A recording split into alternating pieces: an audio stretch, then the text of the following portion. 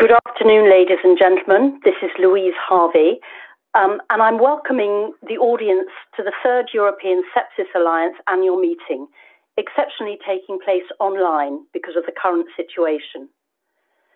The European Sepsis Alliance is one of the regional alliances of the Global Sepsis Alliance. It was established in 2018 with the aim to raise awareness about sepsis, reduce sepsis deaths, and advocate for the implementation of the WHO resolution on sepsis in Europe.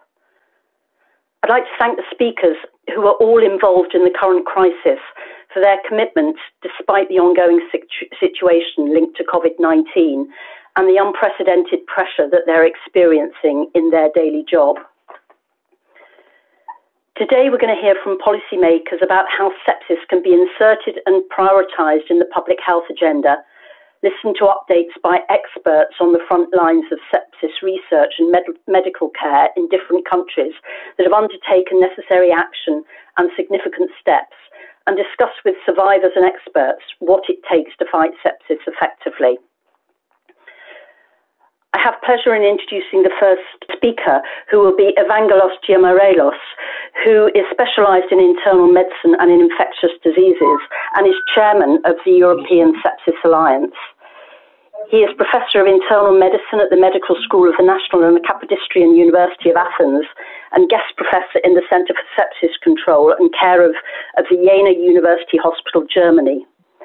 Evangelos is chairman of the European Sepsis Alliance, president of the European Shock Society, and coordinator of the Hellenic Sepsis Study Group. Uh, I would like to hand the floor to him now.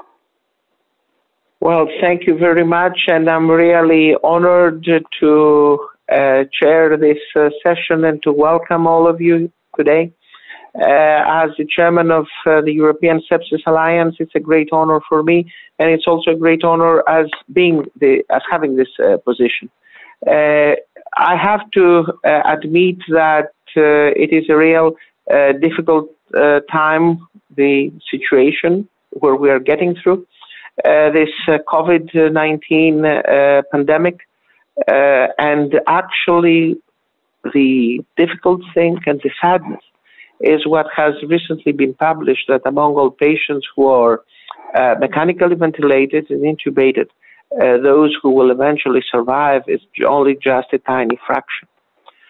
So the real big question is okay, COVID 19 generates or as per se as a severe respiratory failure. However, the question is not just to combat uh, COVID 19. It's also to combat bacterial sepsis that can be uh, a sequelum of the intubation of these patients. So nowadays, uh, getting uh, a symposium of the European Sepsis Alliance and the call to action uh, is more important than ever. With this sense, I would like to welcome you, and I'm really looking forward to this to very fruitful meeting where we need to understand that we need to be united more than ever. We need to exchange information more than ever because we are combating nothing more than a phantom menace and a threat to humanity. Thank you for those uh, introductory remarks. I would now like to turn to Mr. Ortwin Schulte, who since 2017 has been head of the health unit at the permanent representation of Germany to the European Union. And of course, Germany uh, will assume the presidency of the European Union next. Mr. Schulte has worked in the German Ministry of Health uh, and from 2001 to 2005 was head of the health unit at the Federal Chancellor's Office in Berlin. From 2005 to 2007, he was head of the EU Presidency Task Force in the German Ministry of Health before being head of the Bilateral Relations Unit from 2008 to 2016. Since 2011, he's been associate professor at the Medical and Pharmaceutical University in Chisinau in the Republic of Moldova. Mr. Schulte, the floor is yours. Thank you very much, and uh, a warm welcome to this conference from Brussels. Normally, it would be my task to do the housekeeping and to welcome all participants here the permanent representation of uh, Germany in Brussels. However, times of crisis are as such that the access to the permanent representation is limited to a small number of um, administrators, and certainly um, the times aren't so that we can be in close contact. But on the other hand, I fully welcome that we have this meeting now um, on a digital um, in a digital way, and uh, I think in many ways it creates also patterns of cooperation which in the future will be um, pursued. You were mentioning the German presidency, which starts at the 1st of July this year, and it's very certain that um, COVID 19 will not only overshadow the Croatian presidency, but it will also be uh, require nearly a complete um, restart of the preparations for the German presidency simply because priorities now um, changed a lot. Um, one thing that um, I would say, and this is generally also relevant for the field of um, uh, sepsis, is that in the history of the EU, it was often um, a crisis that was the starting point for increased European cooperation. If I think, for instance, uh, 25 years ago on the crisis um, on contaminated blood products, or some 17 years ago, BSE crisis, smallpox pox vaccination, or Ebola, all of them have in one way or another be a starting point for increased cooperation and we can also see that also COVID-19 will be such a starting point. I won't say much about the interrelation of COVID-19 and sepsis. We will certainly have more competent people speaking to that. And uh, so I would welcome you from behalf of the permanent representation of Germany to the EU and thanks the organizers for their commitment and for rescheduling this important meeting in these difficult times. Thank you very much. Thank you, Mr. Schulte. Um, I would now like to invite the president of the Global Sepsis Alliance, Professor Konrad Reinhart, to speak to us. Professor Reinhart is recognized as an international champion of sepsis.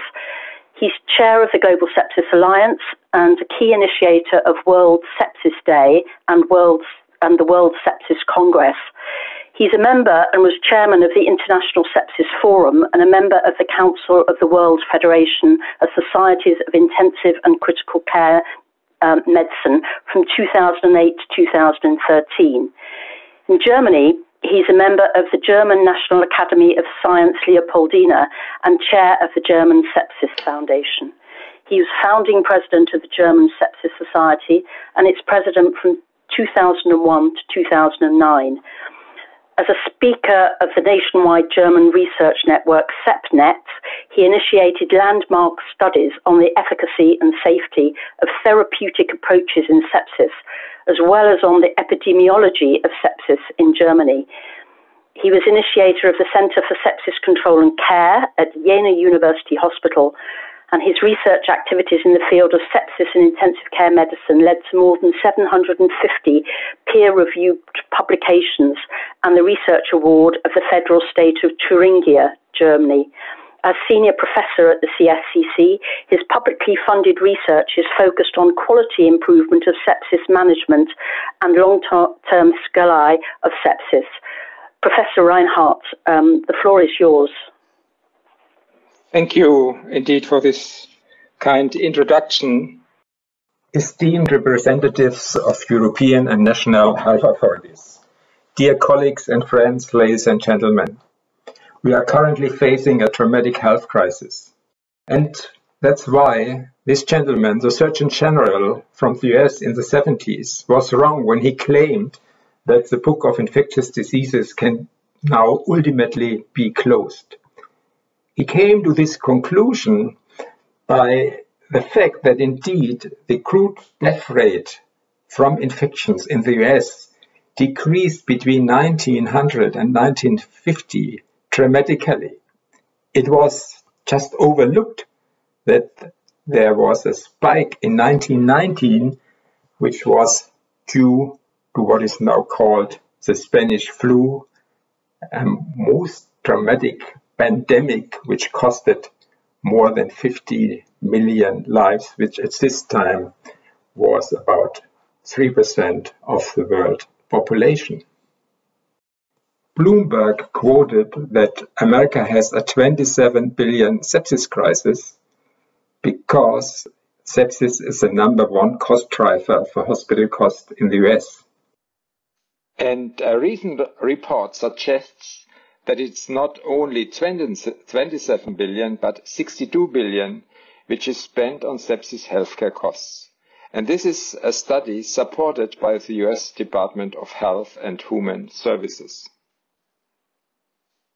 This paper by the authors of the Global Burden of Disease report suggests that there are annually 49 million cases of sepsis and 11 million deaths, which represents about 20% of all deaths worldwide. There's also good news that between 1990 and 2017, mortality decreased by 53%. But what we should make clear here that we are not talking about a pandemic, but about an endemic, meaning that this is an everyday occurrence. And this should remind us that we must address infectious diseases and the problems that come along with it also on a daily basis.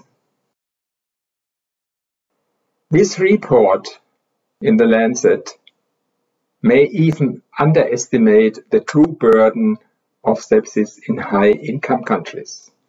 This data from the US, which were derived from electronic health records and not by documentation in the so-called International Classification of Diseases by WHO, came to the finding that it's about 1.7 million cases per year in the US, whereas this report by the Lancet came only to a number of 900,000. Likewise, mortality rate differed considerably, and this was also true for a report from Sweden, which also was based on health records, and they extrapolated from their study that Sweden may face annually 60,000 deaths from sepsis.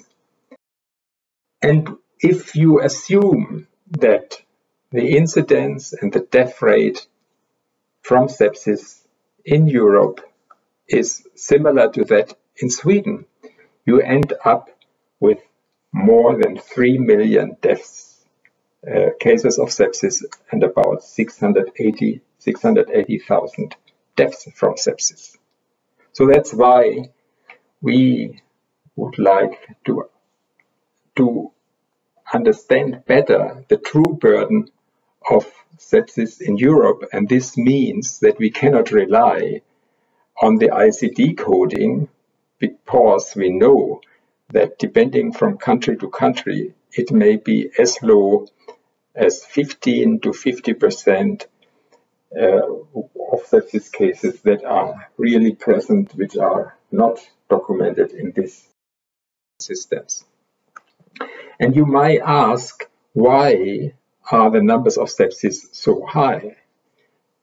It's due to the fact that by definition, sepsis is a common final pathway from infections and that most types of microorganisms can cause sepsis including bacteria, fungi, viruses, and parasites. And this was set out and confirmed by the WHO sepsis resolution. And in this resolution, it is also set out that sepsis most often presents as the clinical deterioration of common and preventable infections, such as those of the respiratory, gastrointestinal, and urinary tract, or of infections from wounds and skin.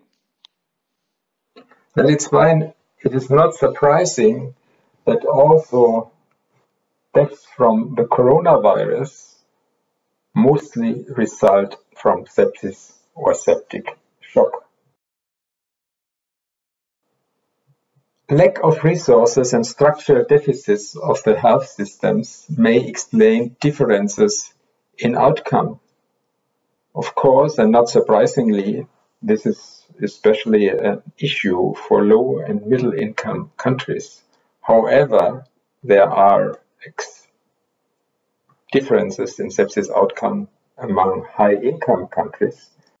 And this also suggests that there's a lot of room for improvement in these countries. And it's true what the new Assistant Director General of the WHO, Naoko Yamamoto, said, that sepsis can be seen as a mirror of the quality of healthcare.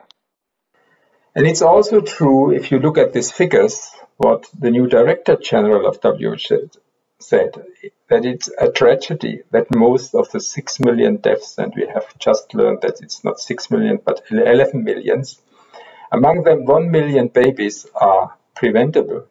Preventable by simple, not expensive measures such as vaccination, clean care, early recognition and treatment of sepsis as an emergency like heart attack or stroke. And as I said before, sepsis is a mirror on the quality of the health systems. And there's this excellent report, annual report by the EU Commission on the performance of the healthcare systems within the European Union. And this effectiveness of the healthcare system is measured by the number of preventable deaths in each country. And given the fact that most likely sepsis is the number one cause of preventable death and disability in Europe, sepsis should become part of further reports. Let's come back to pandemics. There's a common feature of pandemics which was described by Hippocrates already 500, 400 years before Jesus Christ. And he called it sepsis. And he described sepsis as the process by which flesh rots its rank disease producing and evil. However, it took almost 2000 years from then before Robert Koch from Berlin recognized and proved that infections are caused by microorganisms. And it took almost 200 years more than the WHO in 2017 acknowledged that sepsis is a syndromic response to infection and the final common pathway to death from most infectious diseases worldwide. Due to this fact, Sir William Osler is still right that humanity has but three great enemies, fever, famine and war. And of these, the greatest, by far the most terrible, is fever. During World War II, awareness for sepsis was very high. This is a poster with which the Department of Health from England informed their soldiers on the danger of sepsis. And they claimed, and probably they were right, that sepsis has more victims to this discredit than the whole of the German fighters forces, fighting forces put together. And they understood already at this time that it is usually defeated by immediate first aid. However, awareness for sepsis dramatically decreased after World War II, and this is why sepsis even in 2012 was not sufficiently addressed on the WHO website. There was no information on sepsis by the US Center of Disease Control and any other national center of disease control. sepsis was not sufficiently represented in the global burden of disease report. Sepsis was not part of the curricula for medical students and nurses, and the word sepsis was hardly used by press and media when we launched the World Sepsis Declaration and World Sepsis Day in 2012. And this had also dramatic effects on the knowledge of lay people over the last decades. This representative poll from Germany suggests and found that only 17 of the citizens knew that vaccination may help prevent sepsis. 23% thought that sepsis results from an allergic reaction. 30% believed that sepsis primarily resulted from an allergic from killer bugs, and the majority of respondents was of the opinion that a red stripe on the arm is a key symptom of sepsis. And this means that lack of awareness kills because of the inadequate vaccination rates that we face and the fact that poor knowledge on sepsis delays that patients seek help. Have a look on this influenza and pneumococcal vaccination rates which is quite different and pretty low, unfortunately, in Germany compared to US, UK, and Australia. And lack of awareness also results in poor funding for research. This is a slide from 2011, where we found that compared with the incidence of these diseases, sepsis, stroke, cancer, heart diseases, and HIV, you see that uh, this, this dramatic differences in the incidence, but on the other hand, also the poor funding for sepsis research. Times, and this has not changed much differently over the last years. Also, the authors of this report called their report Just Say Sepsis because when they looked in more than 2,000 health records of UK hospitals, they found that in 40% of cases, there were delays in antimicrobial therapy, which, according to their opinion, impaired outcome because sepsis was not recognized in due time. In 60% of these patients, the deaths were not reported in the death certificates of being due to sepsis and in 50% of discharge reports, sepsis was not even mentioned as a cause of death. And that's why it was so important that also the WHO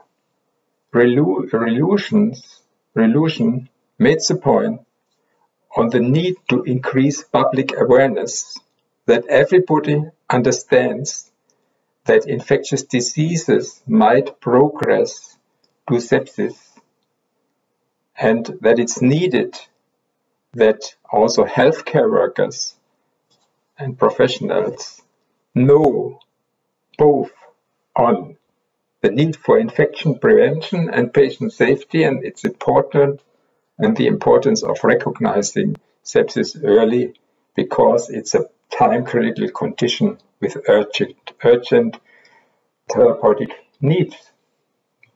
And probably most importantly, this resolution urges member states to include prevention, diagnosis and treatment of sepsis in national health systems, strengthening in the community and in the health settings. There are countries which have done this. So in the UK, they have done a great job because at the bus stops and almost everywhere, you can read, and this is empowerment of patients, just ask, could it be sepsis? When you seek for help, because it's so often overlooked or misdiagnosed. And every family who gets a child receives a booklet with an information on the early symptoms of sepsis in babies, but also in elder children. And there is a 24 7 phone number which these patients and families may call when in doubt. And the overall increase of awareness and quality improvement efforts on sepsis led to increase of the numbers of patients which were identified early and treated early with antimicrobials from a range between 30% up to 80%. And this went along with the decrease of mortality rate in these patients from 30% to about 20%. And there are other reports, in this case from the state of New York, where Governor Cuomo asked all hospitals with a mandate to apply evidence medicine, which means treating patients early within the first hour with antimicrobials and to do other urgency measures. And this slide and picture demonstrates that with every delay in the administration of antibiotics, in this case, mortality rates increase. Overall, those patients who were treated with and along these protocols, and we are talking about 75,000 patients, had a 5% lower mortality over a less than two year period. Whereas those patients who did not receive these protocols, 17,000 patients, even demonstrated a trend towards higher mortality. And there are similar data from Ireland, who also trained their healthcare workers and physicians in all their hospitals over the last years, and you see how mortality rate from sepsis went down. So we can learn a lot of countries with low and fast decreasing mortality rates. They have high priority on patient safety and quality improvement and standards in general, but they also have effective programs on infection prevention and control. They train their healthcare workers in early detection of deteriorating patients. They have early warning scores and they train each healthcare workers on it. They have rapid response teams. They are not waiting for reanimation teams. And they have mandatory critical incidents reporting. So these standards and quality indicators must become goals for the European Union and any national health strategy. And that's why our call to action for EU institutions and authorities is please encourage EU member states to implement the WHO sepsis resolution define common approaches through a revised European One Health Action Plan, which should include a comprehensive EU infection management program, exchange of best practices on sepsis prevention and sepsis response, integrate sepsis in the state of health in EU, report on the quality of the health systems of member states, a harmonized EU data collection method on the incidence of sepsis and AMR, and research on prevention of infection risks. The launch of a European Observatory for Sepsis, and we should have jointly foster awareness for sepsis by a European Sepsis Week in September and support World Sepsis Day. Last but not least, we should support and empower patients and families who suffered or have lost loved ones. Let me finish with some conclusions which were published in the Journal of Science. The authors of an article on the Spanish flu in 1919 concluded that the great lesson of the pandemic is to call attention to the prevalence of respiratory diseases in ordinary times, to the indifference with which they are ordinarily regarded. And they also concluded that these pandemics must be controlled by administrative procedures and by the exercise of appropriate measures of self-protection. This means that policymakers, health authorities jointly with physicians, jointly with patients, can make a difference. And what we are seeing currently now, that this is the only way to overcome this dramatic sepsis crisis or health crisis we face. And we can overcome it only jointly. And this is what our struggle as European Sepsis Alliance, as Global Sepsis Alliance, and as the national movements who aim for patient advocacy and to increase awareness are about. Thank you for your kind attention. Thank you, uh, Professor Reinhart, for that um, arresting overview and the call for action as well. Um, I'd like to remind all the participants of the audience um, in this um, uh, live stream that they can ask questions um, by utilizing the chat box, the public audience chat box, uh, and please um, put your questions there for the speakers uh, which follow, and I will then relay them to the speakers um, so that we can have uh, an interactive uh, experience. But um, I'd like now to move on to our first keynote speaker, um, who is um, Mrs. Teresa Kortz, who is a pediatric intensive care physician with a Master of Science in Global Health Sciences and a PhD in Global Health Sciences clin- Clinical Research in Process. She studies pediatric sepsis etiology, prognostic biomarkers, and clinical outcomes in East Africa, and is currently acting as a sepsis guidelines and coordinating consultant at the WHO headquarters in Geneva.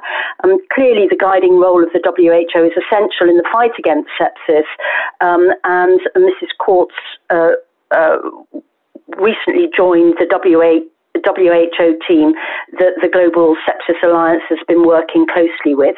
So, Mrs. Kortz, um, the floor is yours. Thank you very much for that introduction and also for the opportunity to present today. So, as mentioned, I'll be telling you today about WHO's strategy to fight sepsis. I want to start by saying WHO really has a long history of combating sepsis, maternal and neonatal sepsis, infectious diseases that can lead to sepsis, as well as infection prevention and control, water sanitation and hygiene, vaccine preventable diseases, really the list goes on. But currently, WHO is focusing on two large global health initiatives the Sustainable Development Goals and the Triple Billions, both of which are directly linked to sepsis. So, sepsis is a significant cause of death in mothers, children, especially newborns, and decreased sepsis mortality would directly contribute to SDGs 3.1 and 3.2, which aim to reduce global maternal mortality and end preventable deaths of newborns and children under five years. If we can de- decrease sepsis incidence and mortality, that's also linked to SDG 3.3, which aims to end the epidemics of AIDS, TB, and malaria and ne- neglected tropical diseases, which are all infections that can increase the risk of sepsis and sepsis related death.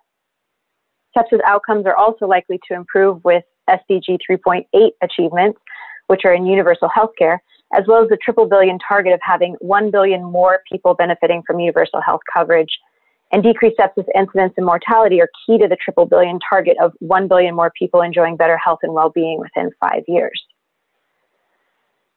Aligning with these global health goals, at the 70th World Health Assembly in May 2017, the member states adopted a resolution on improving the prevention, diagnosis, and management of sepsis and requested the WHO address four key aspects. The first was to develop WHO sepsis guidance, the second was to draw attention to the public health impacts of sepsis and identify approaches for the timely diagnosis and management of sepsis. The third was to support member states to fight sepsis. And the fourth was to collaborate to enhance sepsis prevention and treatment. So, to that end, WHO has developed a cross cutting, multidisciplinary, and collaborative approach to bring together experts with diverse backgrounds, training, and expertise to address the incidence, mortality, and long term complications of sepsis.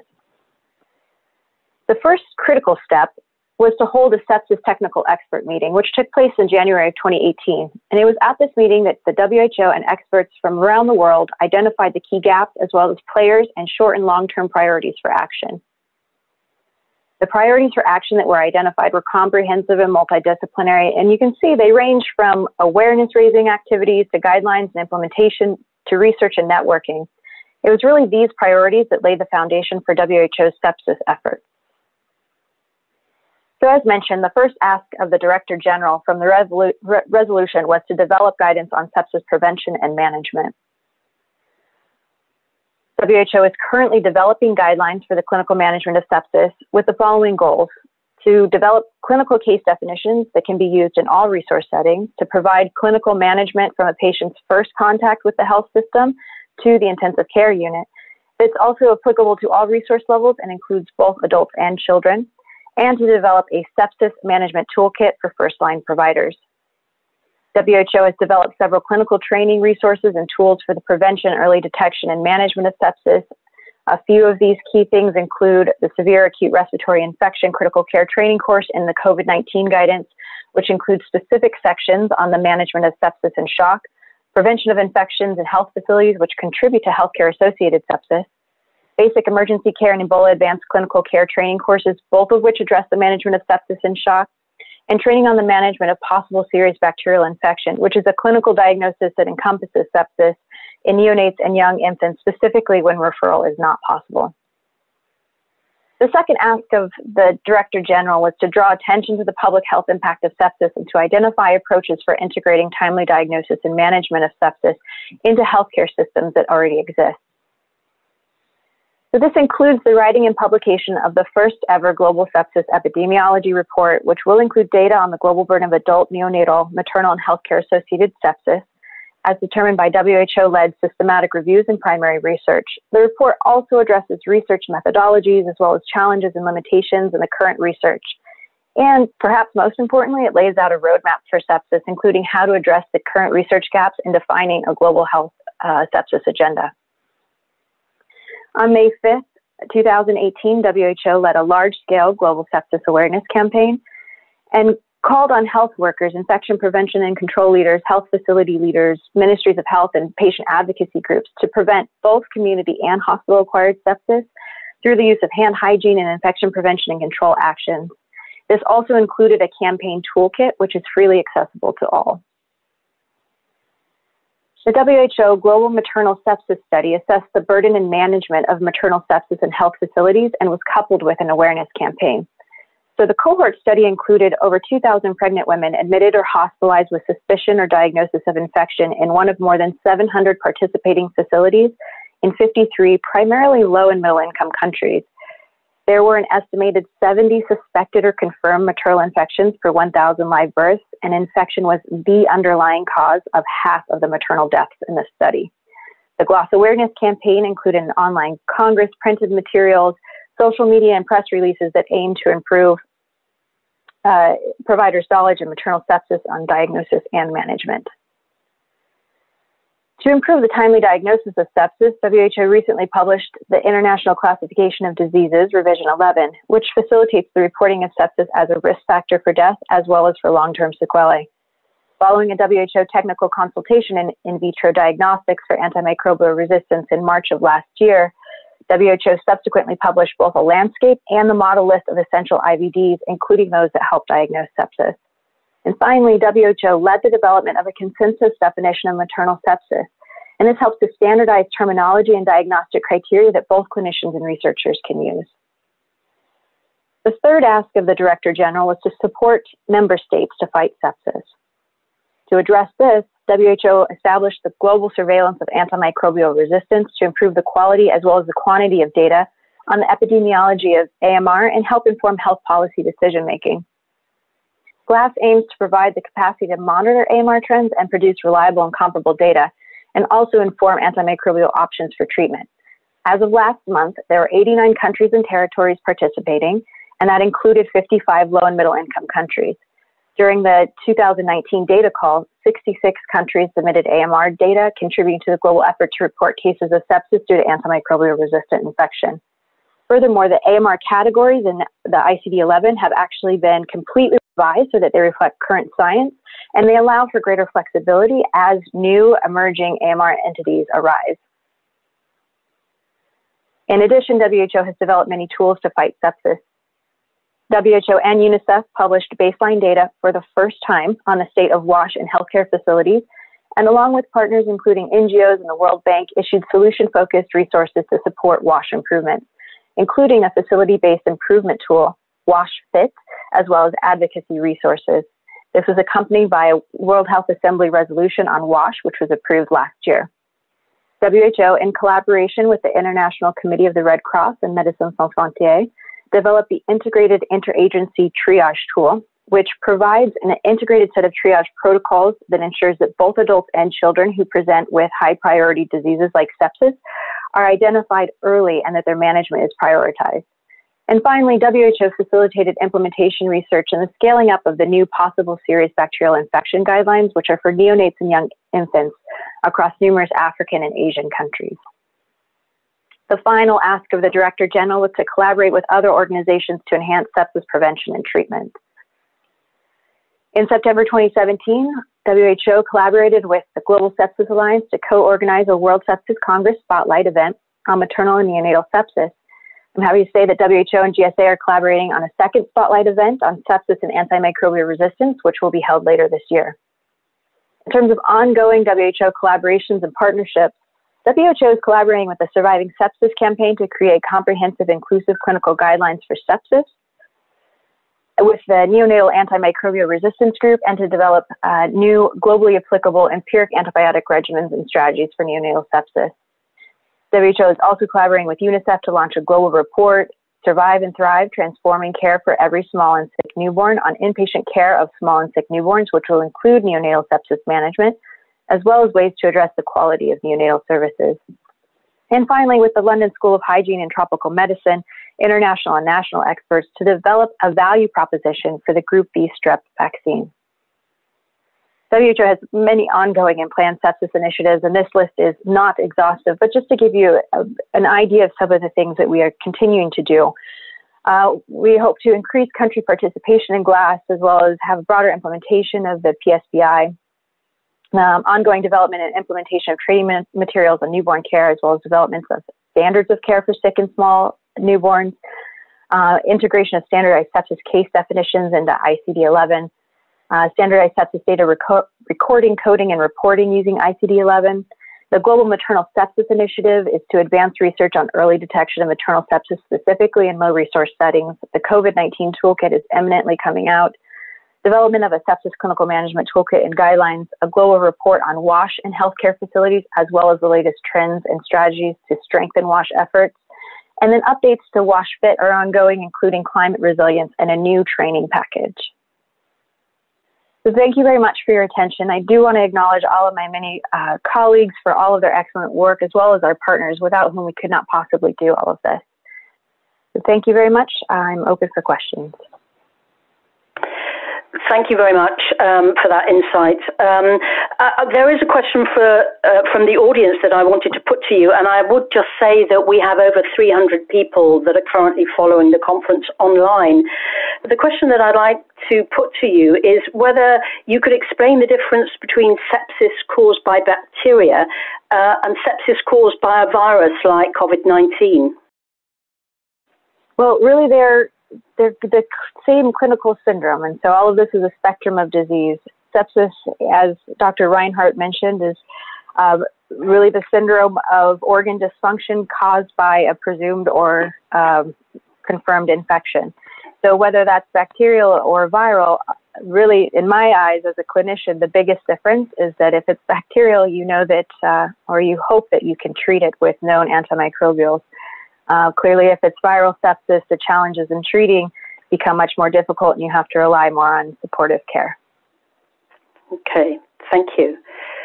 If there's no more questions at this stage um, from the audience, then I will move on to the next um, keynote speaker, um, who is John F. Ryan and is Director of the European Commission's Public Health, Country Knowledge and Crisis Management Directorate and has had that position since September 2016. He's currently also the Commission's representative on the board of the European Centre for Disease Prevention and Control. And clearly, the Commission can play a key role uh, in including sepsis in their policy agenda uh, and also in facilitating the exchange of best practices amongst member states. So, uh, Mr. Ryan, uh, we look forward to hearing from you. Thank you very much, colleagues, and thank you for the invitation to the meeting uh, this afternoon. Um, so I'd like to thank the European Sepsis Alliance for organising the meeting and to acknowledge the important work done by the Alliance and its member organisations in raising awareness and stimulating action on sepsis. The conference com comes at an opportune time to raise extra awareness about sepsis as we're currently dealing with the COVID-19 virus, which is a serious cross-border threat and in some severe cases can also lead to sepsis.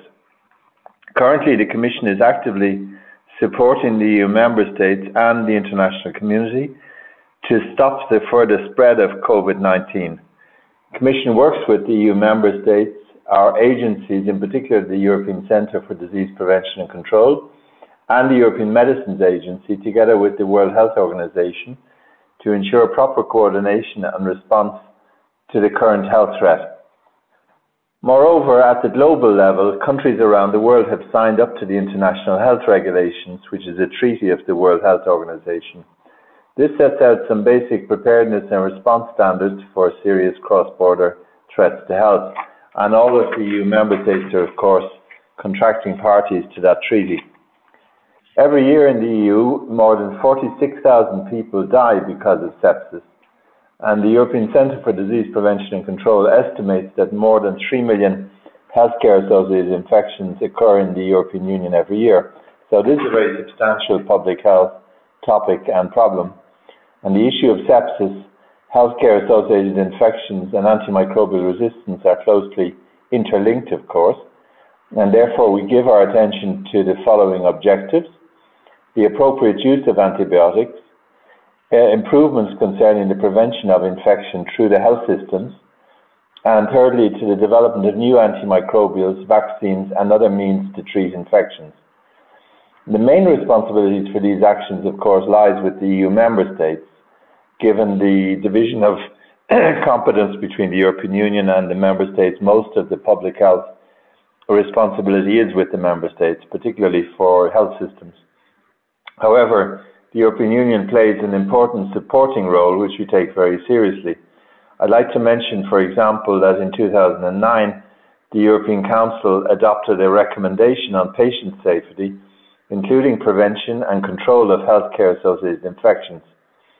Consequently, member states have implemented detailed plans to reduce infection in the healthcare systems, and the Commission has supported this action by funding initiatives research and reporting back on progress. Secondly, uh, the coordination with the member states is crucial. And with this in mind, the European Union adopted in 2013 a legal decision on serious cross-border threats to health. It provides a framework for cooperation between the EU and its member states, and the framework is based on surveillance, an early warning system, risk assessment, and preparedness and response across Europe.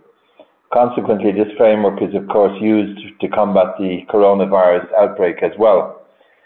And thirdly, uh, sepsis and antimicrobial resistance are closely related. An estimated 33,000 people die each year in the European Union from resistant infections, and we anticipate that this will increase greatly uh, by 2050 as increased uh, antimicrobial resistance reduces our ability to treat infection. Serious complications arise when infections become untreatable and trigger sepsis. Therefore, the European Union is taking crucial steps against antimicrobial resistance, guided by the European One Health Action Plan, launched in 2017.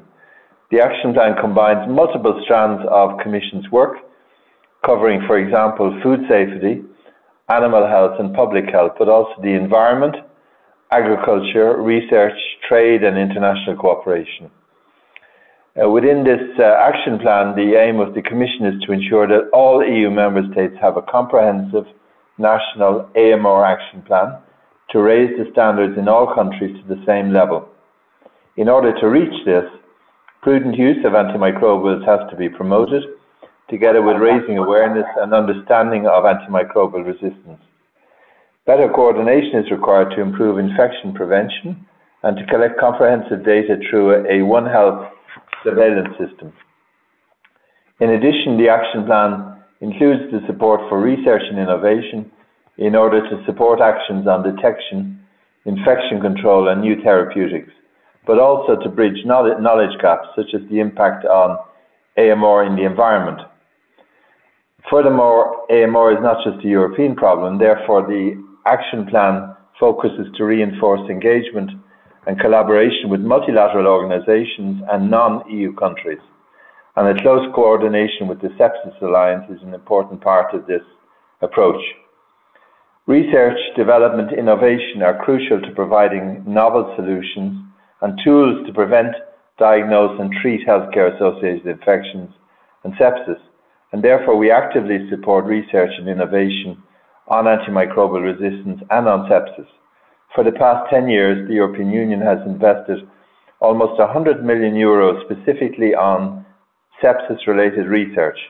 For instance, the SEPCELL project investigates stem cell treatment for severe sepsis caused by pneumonia, and several other projects are developing diagnostics and validating new sepsis markers. Furthermore, our new research program, Horizon 2020, also supports research on sepsis related issues, including uh, methods of infection prevention and the development of new antimicrobials and technologies which may be used in patients with sepsis. In addition, the Commission is reinforcing its support to national vaccination efforts, including through a joint action with our member states on vaccination, led by France and co-funded from the health programme. This will foster sustainability on vaccination and strengthen health systems, taking into account synergies between vaccination and the use of antibiotics. Furthermore, a special funding instrument, the InnovFin Infectious Diseases Instrument, was created with European Investment Bank to provide loans to innovators in this area, and much of this research also supports the work on sepsis. Um, we remember that in 2017, the WHO adopted a resolution on improving prevention, diagnosis, and clinical management of sepsis.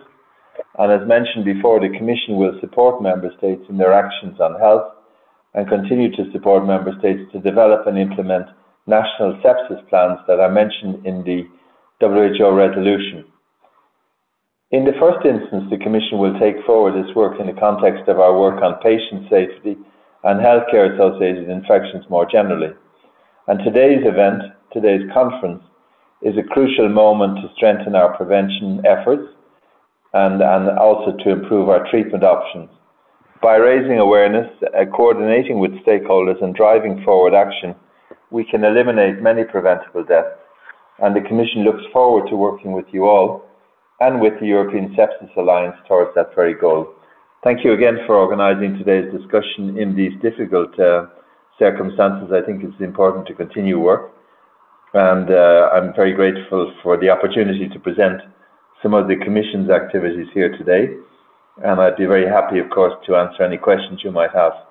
Unfortunately, I will have to leave the meeting uh, shortly because we have a Council of Ministers uh, daily teleconference. But if you um, certainly make notes of any, any questions you may have, I can come back at a later date and circulate the answers. Thank you. Thank you very much, Mr. Ryan. And of course, we understand um, that you have pressing things to uh, attend to at the moment. The one question is has been that um, people would be interested in seeing any slides or any collateral materials, if it's possible to share at a later date um, the contents of some of your remarks. Um, that would probably be helpful. But thank you. We can certainly do that. I'll do that already this afternoon. Thank you very much. Um, with that, um, I will move on, therefore, to um, the first panel, which is going to focus on national sepsis plans and the, and the state of play uh, uh, with regard to national sepsis plans. Uh, and this panel session is going to be moderated by Dennis Kredler, who is a sepsis survivor and amputee. Um, De- Dennis is Vice President of the Global Sepsis Alliance and Chair of the Policy and Stakeholder Engagement Working Group of the European Sepsis Alliance. He's going to be joined um, on the panel by Kristoffer Strålin, who's Chairman of the Swedish Sepsis Plan and has been appointed by the Swedish government to coordinate and implement the National Sepsis Plan. Ron Daniels is the founder and executive director of the UK Sepsis Trust and NHS Consultant in Intensive Care. He's worked with the UK government on three national action plans on sepsis and helped secure the WHO resolution on sepsis in 2017. Djillali Annane is Dean of the Faculty of Medicine at the University of Versailles Paris Saclay and the head of the Critical Care Department at Raymond Poincaré University Hospital in Garches, Paris. In the past two years, he's worked together with many different stakeholders on a comprehensive sepsis plan for France that was published in October 2019. Antonio Artigas is Professor of Applied Physiology at the Autonomous University of Barcelona and Emeritus Director of Intensive Care Medicine Center at Corporació Sanitaria Universitaria Taulí, Sabadell. He's chairman of EduSepsis program and member of the executive committee Committee of the European Sepsis Alliance. And during the last years, He's worked with the health department of the Catalan government to implement and follow up a sepsis code and a sepsis plan for Catalonia. And the last member of the panel uh, to introduce is Erik Solligård, who is a specialist in anesthesiology and works as professor and senior consultant in intensive care medicine uh, academic head of the Clinic of, of Anesthesiology and Intensive Care and director of Gemini Centre for Sepsis Research at NTNU and St Olav's Hospital. His research focuses primarily to improve survival and outcome of survivors from sepsis through personalized mes- medicine developed by combining epidemiology, genetics, host pathogen interactions, biomarkers, and clinical trajectories using systems biology and artificial intelligence. And with that, Dennis, I'm going to hand over to you to moderate this um, panel and to take questions afterwards. Yes, good afternoon, um, everyone. Thank you very much, uh, Louise, for the great introduction uh, of the entire panel. Uh, it's a pleasure to uh, be chairing this panel with uh, such eminent people from all over Europe who actually are very, very busy because of the COVID situation right now. So we appreciate the time. Um, we will get right into it. Um, the purpose of this panel uh, is really to uh, follow up and take stock of the um, World uh, Health uh, Assembly recommendation to all member states um, that uh, that uh, each of them, each of the member states, should really put in place uh, a sepsis action plan, a national sepsis action plan in most cases. And um, we thought it would be uh, it would be a, a, good time now to take stock where we stand, take some examples of best practices from around Europe, um, and so we will be hearing uh, from uh, uh, a number of countries um, around Europe um, to see where they currently are. Um, I'm going to ask our panelists first uh, to give a short introduction into the uh, into their respective sepsis action plan, uh, what the contents are, what the status is, and then ask them a couple of questions. Um, and we will then also take questions from the audience. So I would very much encourage uh, people in the audience to submit any questions using the um, online tool. Um, I think uh, we will start uh, with uh, Christopher. Uh, Christopher, can you tell us a little bit about um, the um, sepsis action plan that you're working on at the moment? I think in in Sweden, please.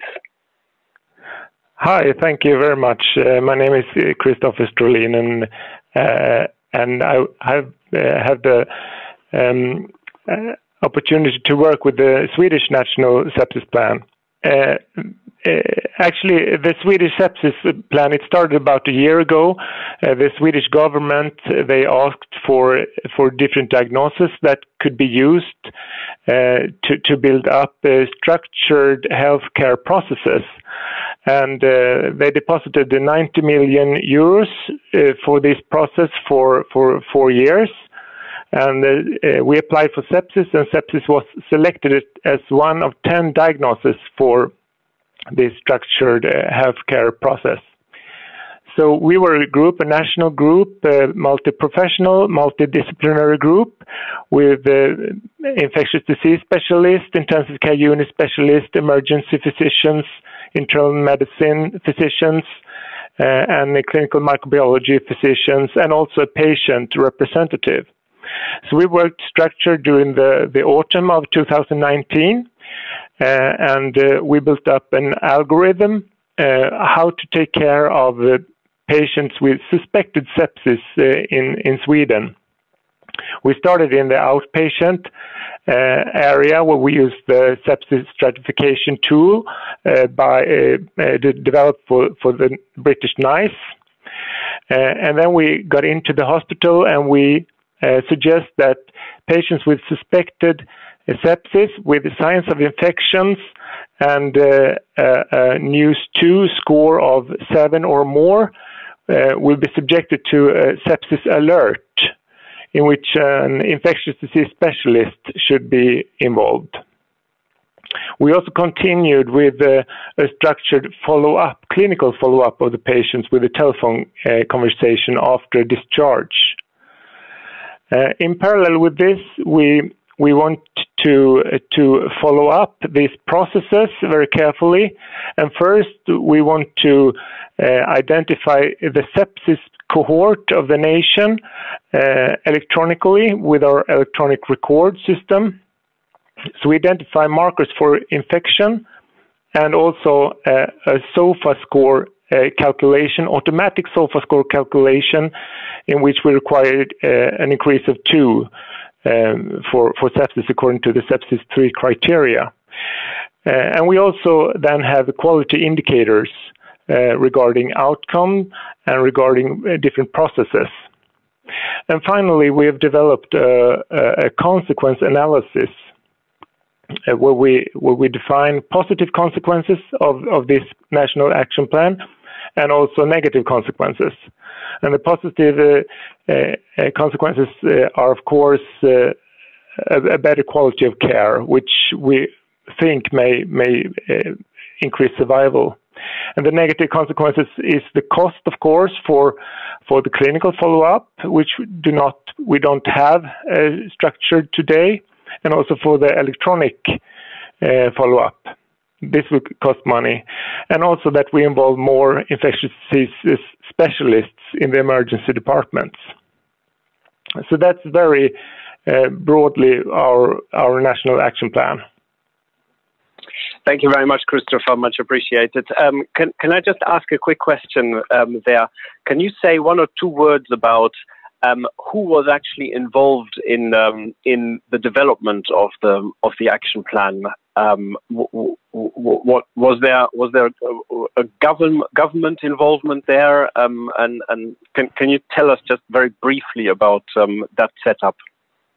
Yeah, first, uh, in Sweden, we have uh, about 20 different uh, national uh, um, program com committees for different diagnostic groups.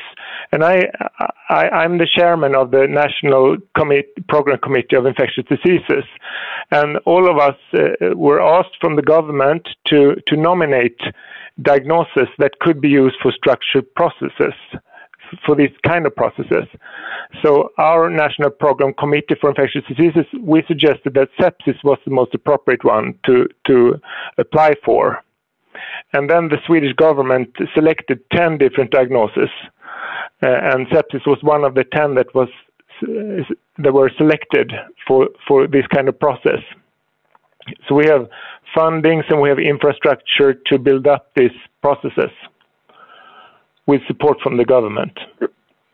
Great. Thank you very much. Much appreciated. Um, let's go on to our next panelist then. Um, and uh, as a reminder, we will open up uh, for questions at the end of the panel debate. So um, uh, please do uh, submit your questions via the um, chat function um, that you that you see um, at the bottom of the screen. Uh, we'll go next to Ron Daniels in the UK. Uh, Ron, I know you're very busy at the moment uh, involved in COVID uh, response, but um, greatly appreciate that you were able to make it and uh, looking forward to your contribution. No, thank you so much, Dennis. And I'm sure I'm not alone in being increasingly busy right now. Um, so, regarding what we're doing here in the UK, um, I think the first thing to say is that we have had an advantage in that there has been an intercollegiate body championing the government to improve outcomes from sepsis since around 2008, so 12 years. And we have had a national charity since 2012, so eight years. So when the call for national action plans came out in 2017, the British government was already writing its first action plan and we're now on our third action plan. So I'm going to talk not so much about the action plans, but more around some of the principles and some of the content of them. And I'm speaking from the perspective of uh, the chief executive of the UK Sepsis Trust, the registered charity, very patient focused organisation. But we've worked in collaboration with the Department of Health, NHS England, Public Health England, and other stakeholders to deliver these action plans. The first sort of major point I, I wanted to say is that uh, the way the NHS operates, um, complex scoring systems, unless they fit closely with the News 2 early warning score, are unlikely to become embedded, particularly if they've been developed uh, elsewhere. So, very early on, we recognized that we needed a pragmatic operational tool with which to recognize and treat sepsis.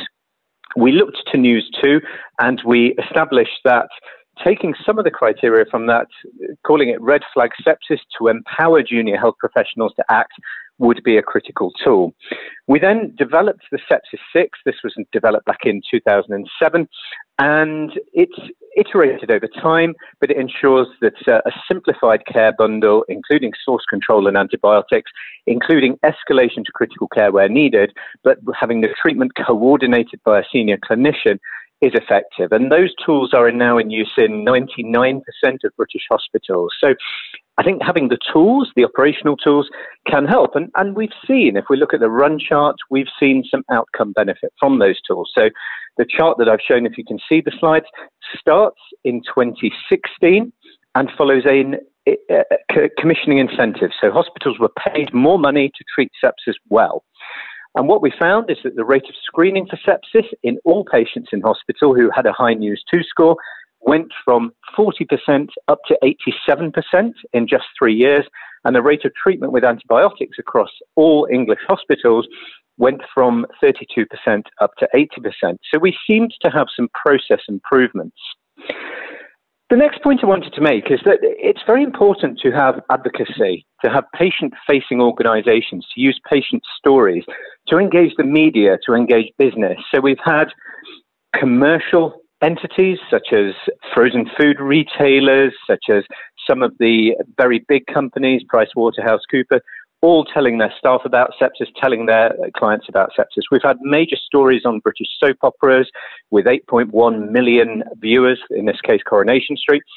We've had campaigns across sporting events such as the Grand National Horse Race, which is watched by 18 million people every year. We have advertising on all of our ambulances.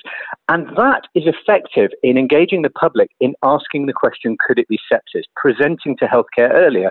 So you would hope that that would result in a link between improved process in hospitals and improved outcomes. And without that link, it might be difficult to see. Now, this is not cause and effect in the UK, um, but we've had three sequential estimates of mortality from sepsis. We accept that definitions of sepsis have changed during this time, but the process improvements seem to have been associated with an improvement in survival from sepsis from around 70% to just over 80% in the UK in just a few short years. So we'll be continuing this journey. We'll be having a next uh, sepsis action plan. We're now working towards an interoperable data registry using artificial intelligence to better understand this problem. That's where we're at in the UK. Thank you very much. That's great, uh, Ron. I think we'll go next um, to France, and we will be hearing from Djillali Annane, who will be um, telling us uh, about progress made um, in France. Hi, Djilali. Okay, so uh, yes, France has uh, uh, launched its uh, national plan in October 19. So basically, the plan is uh, uh, based on three main domains. First one is increasing knowledge. The second domain is about providing better care. And the last domain is about increasing surveillance and coverage for sepsis in France. So just let, let me illustrate by one example what we're doing right now in France in these three domains. As uh, according to, uh, sorry, uh, related to increasing knowledge, there are the targets are the general public and health professionals. For the general public, what we are doing is we're implementing educational program uh, for school for children and teenagers uh, that will be in place uh, in September 2020. So these educational program uh, aimed at raising awareness uh, among children and teenagers of the importance of infection, prevention of infection, and, and sepsis as the main uh, the, the main cause of death from uh, infection. Regarding uh, the providing better care, uh, what we what France is uh, trying to to promote uh, first is to reinforce the vaccination program, and as you know, now France has increased the number of mandatory vaccine up to 11. So, because we really strongly believe that uh, vaccination is one of the main uh, tools to prevent sepsis broadly. And finally, to increase surveillance, so uh, beyond harmonization of, of coding for sepsis in France, um, we are taking the opportunity of an ongoing population-based uh, prospective cohort of 200,000 people being surveyed for 10 years. So uh, sepsis and, and surveillance of sepsis case among these 2,000 uh, French people to be surveyed for 10 years uh, has been implemented this year and will provide yearly uh, very useful information about the epidemiology of sepsis in France. So this is a very brief uh, summary of of uh, the national plan that we have set up in France. Brief, yes, but very thorough. Uh, thank you very much um, for that. We turn next to Norway with uh, Erik uh, Solligård, um, who will um, explain what's going on in Norway. Yes, um, thank you for inviting me to uh, to talk with all these people. Uh, it's very interesting to to hear what others have done, and I will try to tell you a little bit about what we have done in Norway. Um, in 2017, there had been a lot of failures in sepsis treatment um, and I, I, will say that the work to fight sepsis started in 2016 2017 by a national inspection uh, by the, by the uh, initiated by the government. Um, and it was uh, set up teams around Norway visiting all hospitals around in Norway. And it was three visits to each hospital with journal reviews and interviews. Uh, and we went through a lot of uh, journals in the ED. Uh, and the main um, measure point was time to antibiotics given to patients arriving in the ED uh, with uh, infection and clinical signs of sepsis. And we also measured process variables like triage, when they were seen by a doctor, blood cultures, lactate, things like that. And, and the findings were that it was a lack of coordination and leadership in the hospitals, and many patients did not get antibiotics as early as they should. And um, after this uh, inspection, it was a lot of good initiatives.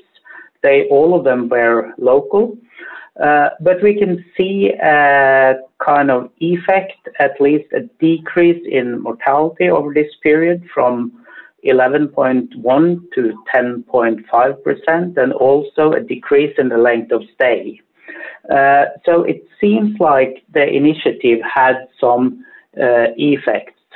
Um, other um, things that has been uh, done is this was followed by a governmental campaign or a program uh, as a national project on early recognition of sepsis in, in the emergency department and at the ward. Uh, it was a lot of um, attention on education, brochures, folders, e-learning programs, uh, contacts in every hospital, sepsis teams in the ED, and also monitoring. And in the ward, it was focused on uh, on news scoring. And this has now been implemented in the ED in all hospitals in Norway, and it's on its way to be implemented uh, early recognition on sepsis on the ward as well. Um, other uh, measures that has been done, we have a popula population survey of 120,000 people that has been followed for 20 years. But one of the main challenges in Norway is the unrecognized burden. We don't agree on the burden of sepsis in Norway. Um, the official numbers are based on ICD coding. Um, nobody owns the patient. It's a discourse between intensivists and internalists. Um, and we also face a problem with lack of awareness in the population. Um, we have tried to get a national antibiotic guideline for sepsis uh, for the last four or five years but I think we we should have finalized it by now, but because of the coronavirus, we have had to postpone it. Um, but it, it's some very good and recent initiatives. Uh, it's of a national uh, action plan. Uh, the Minister of Health is really engaged, and his eyes have been opened for what sepsis is he has been participating in debates. He has been challenged. We have had the visitors from uh, European Sepsis Alliance meeting him. So I think we are on the way to get a coordinated uh, and national effort that includes also the population, uh, registration, uh, incidence of sepsis. Thank you. Thank you very much. That's great. And thank you also for speaking about some of the challenges there um, that you've encountered. Um, we'll come back to those uh, in the discussion. Um, I'd like to turn to our final panelist, uh, Antonio Artigas, uh, who is um, uh, going to talk to us about the situation in Spain and, and more particularly in Catalonia. Um, Antonio, over to you. Uh, thank you, Dennis.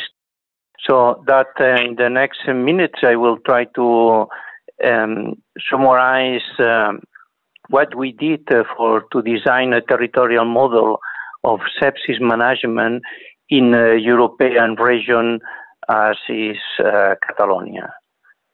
Uh, we should, uh, when we should uh, consider to create an inter-hospital emergency code, that it was this was the main objective, and this is mainly because uh, the sepsis is prevalent, and as you see here in the in the lower uh, part uh, in the left side, uh, there is a continuous increasing of the incidence uh, in uh, in our uh, region, and also the delay of an adequate early treatment as antibiotic therapy, or a delay to transfer the patient to an appropriate area uh, as an ICU, we know that there is an uh, important impact in outcome.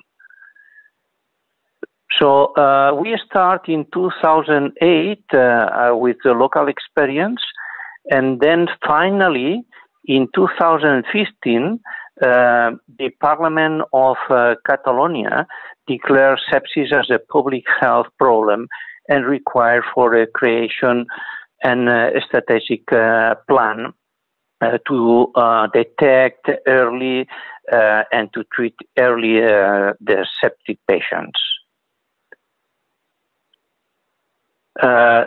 then we establish through an advisory committee uh, that is uh, was uh, an advisory committee with different medical specialties, including pediatric the pediatric the pediatricians and also all the uh, specialties of the uh, pre-hospital care.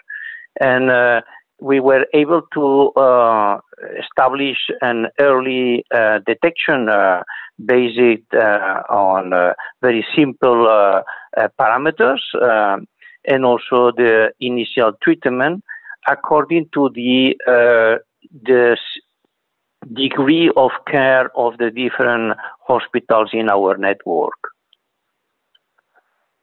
So uh, just to summarize you, Catalonia is a region of Europe uh, with close to 8 uh, million of inhabitants, and they have different uh, uh, areas.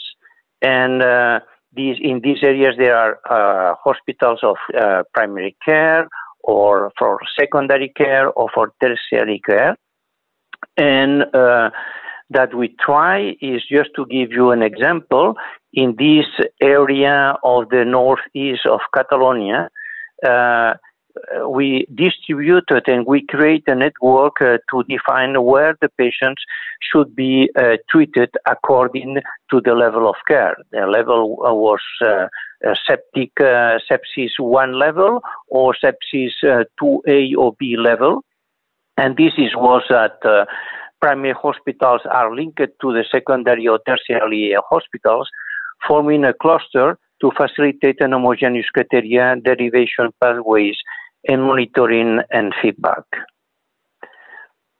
Also, uh, we uh, uh, establish a training program and an accreditation of uh, quality care uh, on sepsis, and also a system that we call the radar sepsis, that to screen uh, and to to have a continuous survey of cases admitted in and in our um, in our region. Uh, in order also to uh, to analyze this data as uh, to have continuous epidemiological information and also to give uh, feedback uh, to, to, the different uh, hospitals. this is an example using an APP a system for pre-hospital and hospital detection that is linked with the health department uh, system. So uh, the uh, protocols for sepsis detection should be developed uh, by all healthcare workers, uh, is not only intensive care, and from the domiciliary and primary care uh, to high technology hospitals.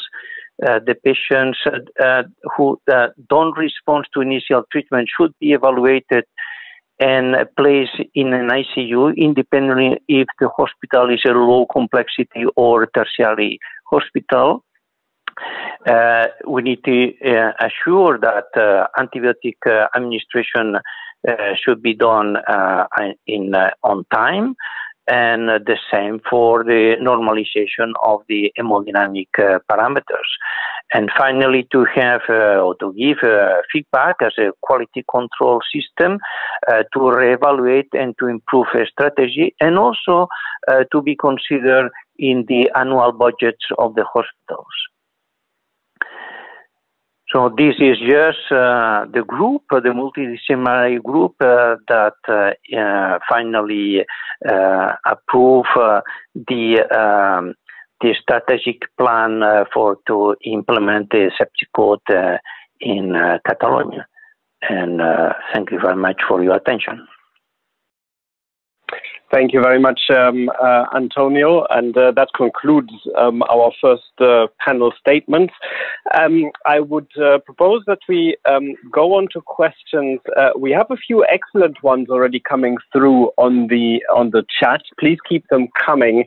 Um, I will um, first uh, try to um, summarize a little bit what we heard here without going into the details, of course. But I, I, think the, some of the key elements of the sepsis action plans that we've heard here um, can be summarized together in a, in a, in a few points. One is um, the, the, that the action plans focus uh, very often on, or one of the focus uh, areas of the action plans are very often that uh, uh, they need to, they want to make sure that health professionals are aware of sepsis and know what to do when they um, when they see the symptoms. Um, another point is that uh, there is um, uh, very often the, the, the groups drafting um, action plans are multidisciplinary. Um, that, that's a word that came back several times. There are um, protocols that are identified for treating sepsis patients that are to be followed by everyone in the health system. Um, and then uh, there is the involvement of actors beyond hospitals and the medical system um, in, the, in the strictest sense of the word. I heard in the UK the involvement even of companies as well as the major events. I heard in France the involvement of schools um, and some others too. So um, that's an interesting aspect, I think, of national sepsis action plans uh, there.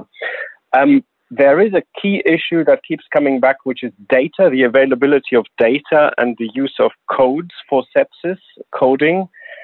Um, and, uh, and, and maybe we can uh, drill into those uh, a little bit more in, in your responses. But I would I would really like to um, highlight maybe um, three questions to start with, and then uh, we will we will go to the questions that we've got in the chat. Some of these are related.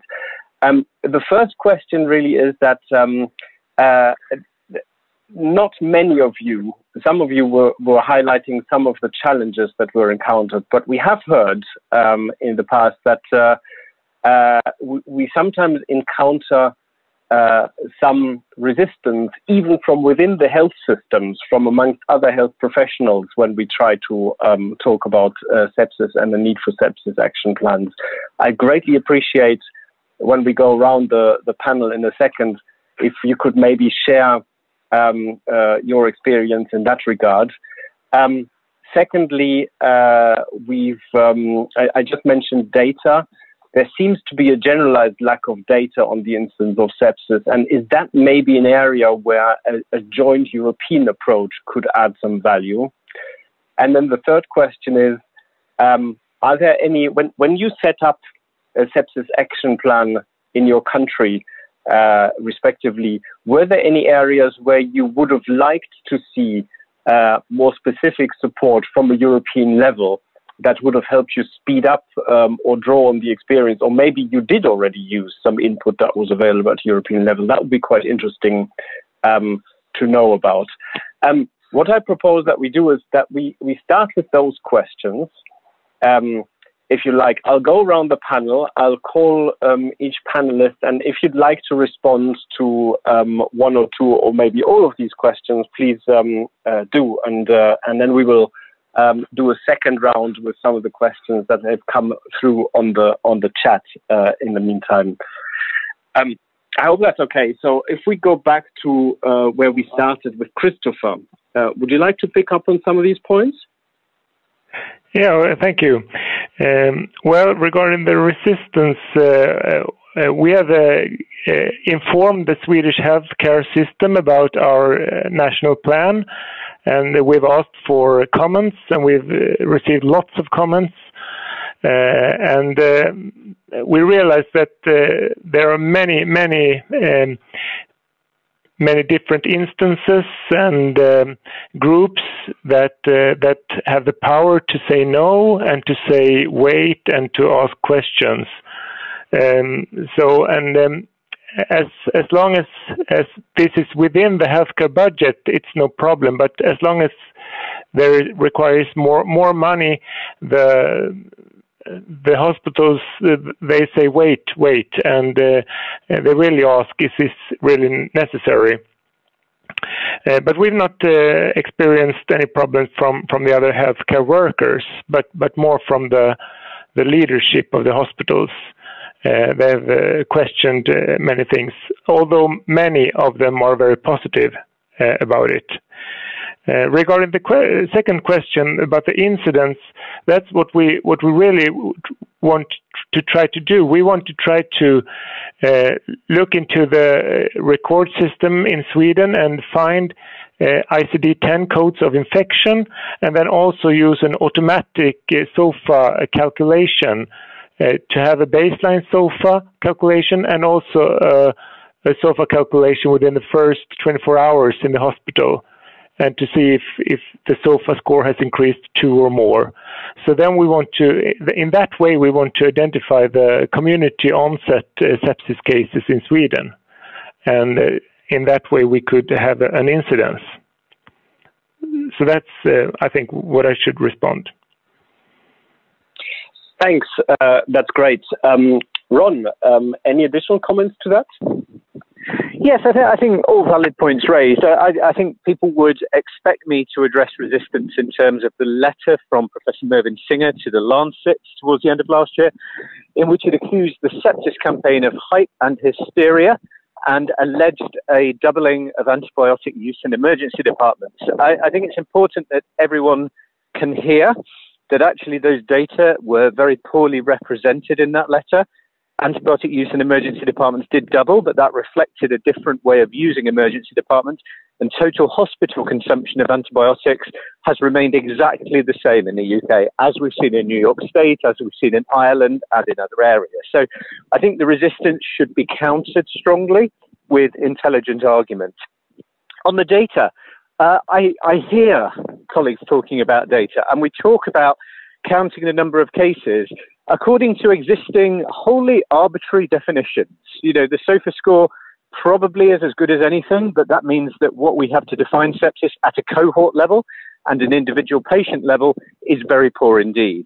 And I think there's an opportunity to use data much more intelligently, patient level, granular, interoperable data that identify for an individual patient their risk of um, a massive inflammatory response to infection. I think we'll get to a much more individualized care.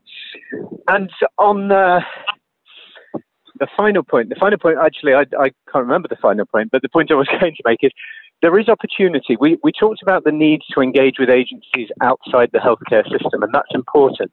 But there is a huge opportunity and probably a need for public facing advocacy organizations to support this. Doctors are not necessarily the experts in public messaging. Right. Thanks a lot. The final point was um, would you have benefited from European support anywhere uh, in your actions? Um, I, I, think, given that you were amongst the front runners, um, that sort of self-explanatory. But maybe you'd like to comment. So, yes, thanks, Dennis. Thanks for the reminder. I, I think um, this is a, a, problem that is not unique to the UK, but is particularly felt in the UK. That um, our government does not like to listen to European governments or to other governments, and we've seen some of this in the press recently. Um, so I think it's not so much that we would have wanted more help from the EC or from European agencies, it's that I would prefer my government to listen to other countries more strongly. Thanks very much, um, Ron. Greatly appreciated. Um, moving on swiftly to Djillali, would you like to pick up on any of those questions? Yeah, so I, I think that uh, uh, many people here, at least in France, uh, still are concerned about confusing issues in between the fight against antimicrobial resistance and the fight against sepsis. And I, and I think here there is a, a, um, a need for clarification of similarities in between the two fights but also that the two fights are uh, synergistic and not redundant.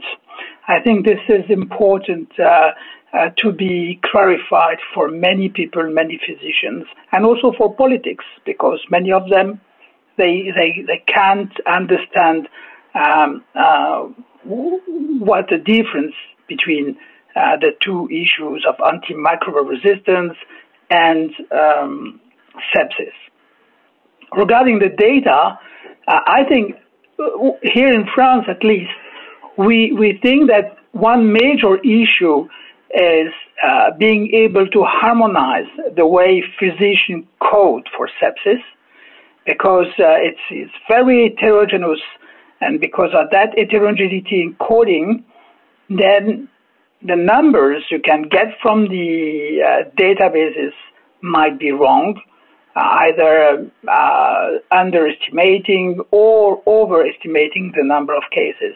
Mm-hmm. So we have started uh, um, working on an harmonization on the way of how uh, hospital stays for sepsis need to be coded in the French system. Uh, and finally, I'm expecting Europe to be more active. And basically, Europe need to develop, and I think the ECDC has a role to play here uh, to develop a, a, European surveillance for sepsis case, uh, harmonizing at the level of, of Europe the way uh, uh sepsis is coded and, and uh, following, surveying yearly the number of cases uh, through within um, in Europe. I think this is really needed, and now it is missing. Okay, thanks. Great points. Um, Erik, any uh, additional points? Yeah, uh, I, I, think the, the first speakers they have uh, touched most of it, but I, I believe that um, uh, early antibiotics for uh, treating sepsis versus uh, AMR development. That's really a key issue, and it's about the communication and knowledge. Um, because it is so many interests here, um, too many or very many uh, specialties they own the sepsis patient. The sepsis patient doesn't have one uh, advocate. I think that is a challenge. Uh, and it's also a struggle for resources. When we get more focus on sepsis, uh, both on treatment and, uh, and uh, on um, research, we challenge cancer, cardiovascular diseases. So, so it's, it's quite a tough fight to, to get the focus on sepsis. And one of the big problems then is the lack of data, of good, reliable data. Uh, should it be based on ICD coding? It's a lot of discrepancies within the country on that. Um, so is a registry the answer? Should it be a European registry? Uh, there are there are many questions on that, and um, but uh, what what I think Europe should work on is to uh, harmonize data collection methods so we can get an overview of, of the burden of sepsis in in Europe and and what um, the European support or what what should have been done. I think the governments should be challenged by uh, by the EU. What are you doing on sepsis? Right. Thank you. I, I think that's a great point. Thank you very much. Um, Antonio, any other points? Yes. Uh, I fully agree with my good friend Digil, uh, and we are very close to the, his uh, French view in Catalonia. Uh, the first question is the lack of information or the data. Uh, I think it's key uh, for from our experience to involve the health department of the government to develop a system to collect the information in an appropriate way and to have a quality control of the data.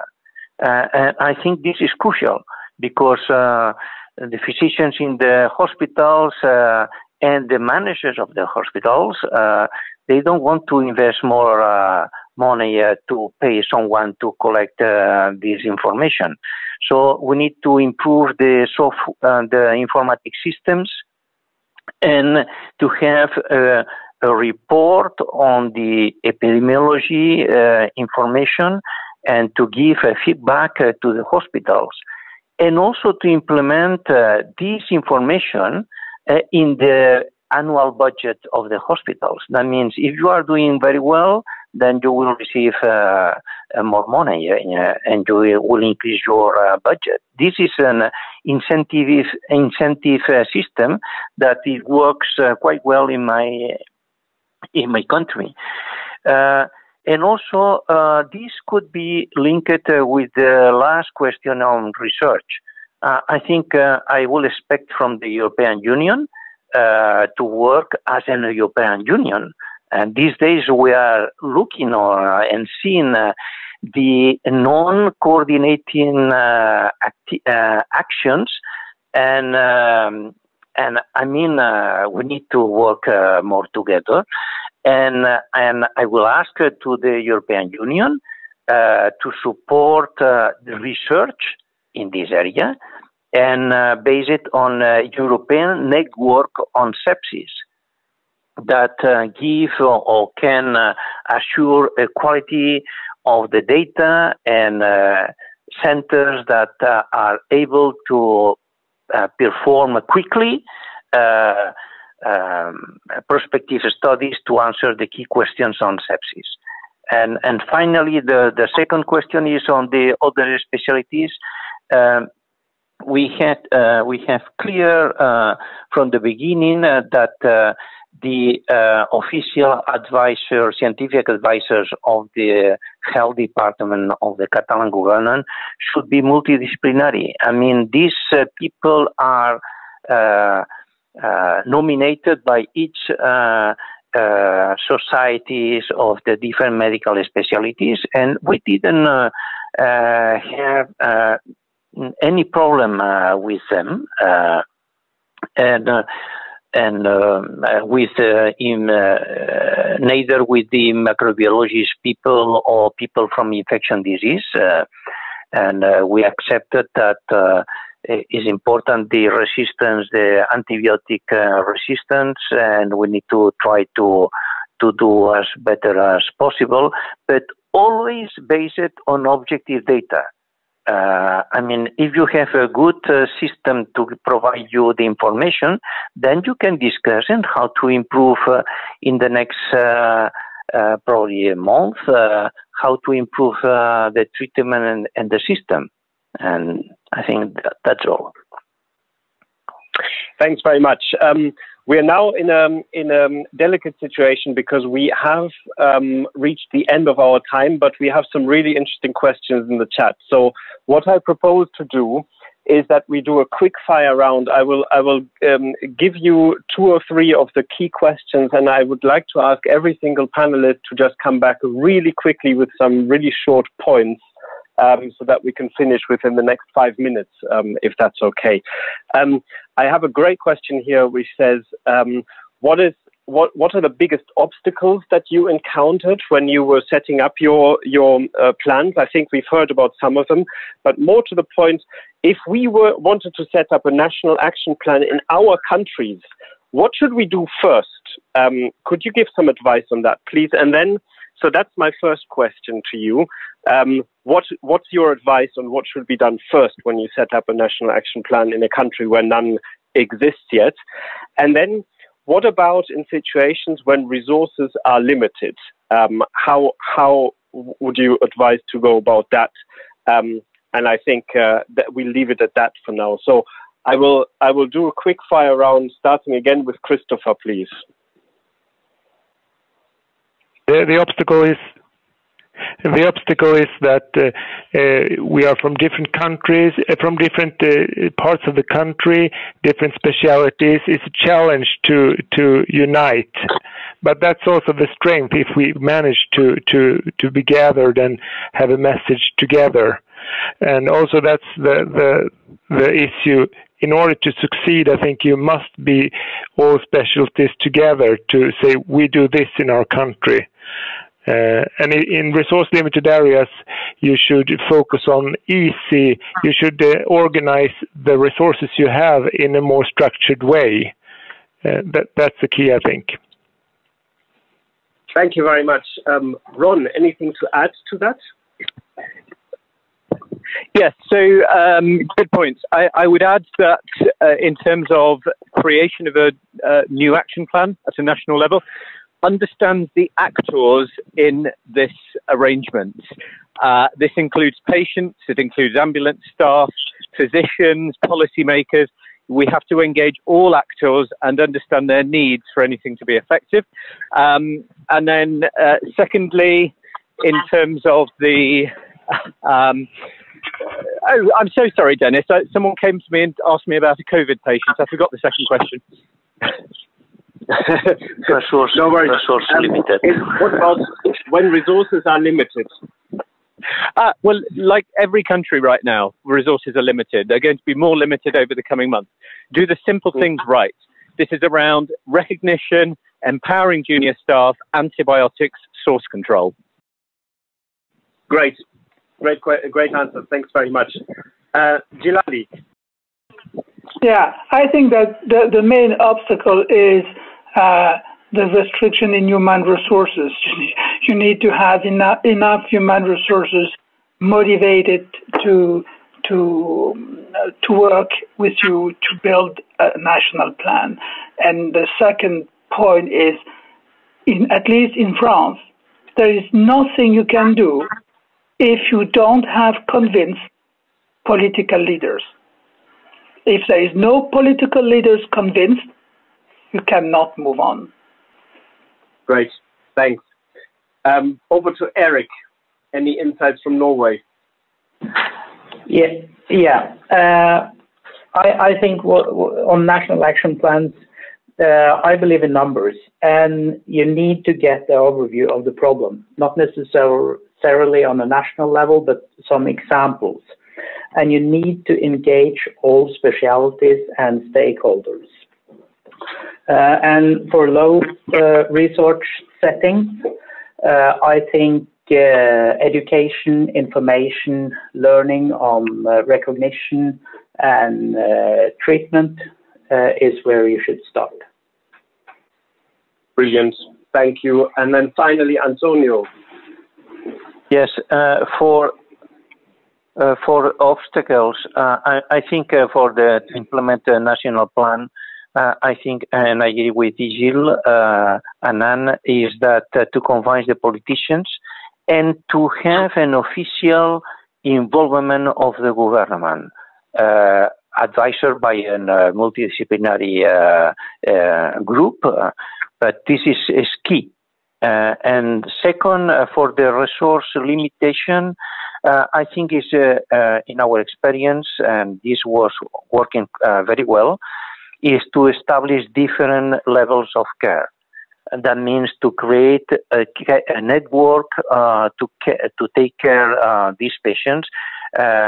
And to know exactly when, where the, when and where these patients should be treated or transferred uh, to a hospital that they have more resources uh, and more, uh, I mean, uh, possibilities to treat a, a difficult uh, case. Excellent, great, thank you very much. Um, uh, we've we've come really to the end of our time. Um, it's been a great discussion. Thank you very much um, to all the panelists. Um, it's, it's been uh, really appreciated that you've taken out time from your busy schedules to participate in this.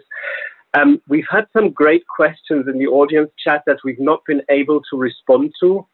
So if you would like your question answered and we haven't, we apologize for that, but please do send it to the email address that you see in the chat and we will um, endeavor to get it answered and come back to you um, as, as soon as possible.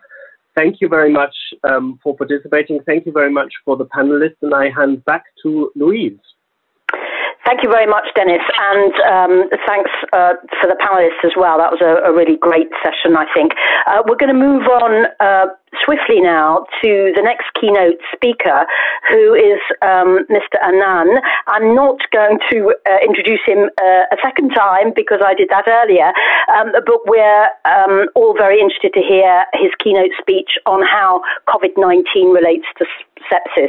So, Mr. Annane, uh, the floor is yours. Yeah, thank you. Thank you very much. So, uh, 2019 novel coronavirus uh, hit the world right now.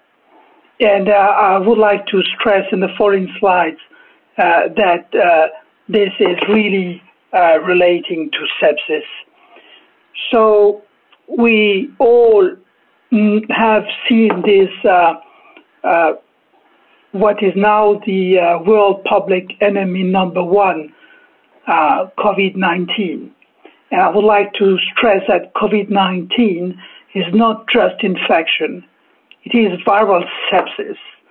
And most, if not all people who are currently dying from that viral infection actually are dying from sepsis or septic shock. At the time I have prepared these slides, on March 19, there were roughly 200,000 cases in the world and about 9,000 deaths. But today, it is already 3,000 cases, and the number of deaths have already doubled and is now close to 15,000 as per today. So really, this is an unprecedented pandemic, and uh, uh, hopefully we will be able to go through uh, and to be able to minimize the number of, of, of people who will die from that uh, viral sepsis. Indeed, when one looks at the clinical phenotype that is now well, well described by many authors from China, Italy, and almost many other countries, including France, is that basically the clinical phenotype is really the one of sepsis. Uh, it's uh, the, the infection is, of course, pneumonia related to COVID 19. And indeed, COVID 19 is, in, is inducing a number of organ dysfunction beyond simply uh, acute lung injury and acute respiratory distress syndrome, uh, which is very frequent. But in my unit, we currently are managing 25 patients with COVID 19 severe infection and sepsis. And I can tell you that 40% of these uh, patients have shock, that 25% of them have acute kidney injury, and almost all of them have disseminated intravascular coagulopathy, highlighting that the, there is a major derangement of endothelial function and also uh, suggesting that the host response uh, is uh, strongly deregulated, uh, uh, and this relate, of course, to COVID COVID nineteen uh, infection. So clearly, we are facing a viral sepsis as we never seen before. So uh, this is uh, uh, the slide is just to highlight the time course of a disease, and this is to stress the point that uh, in almost all patients is, is, is very homogeneous. The time period for uh, onset of sepsis or ARDS is roughly in between day 8 and day 12 from the onset of infection. And it's interesting to note that increasing data argue that this period of time is characterized by a rapid and sudden increase in circulating levels of a number of pro-inflammatory mediators. I'm just showing here interleukin 6, tumor necrosis alpha, but it is also true for uh, many other uh, pro-inflammatory cytokines. And also I have a slide for that.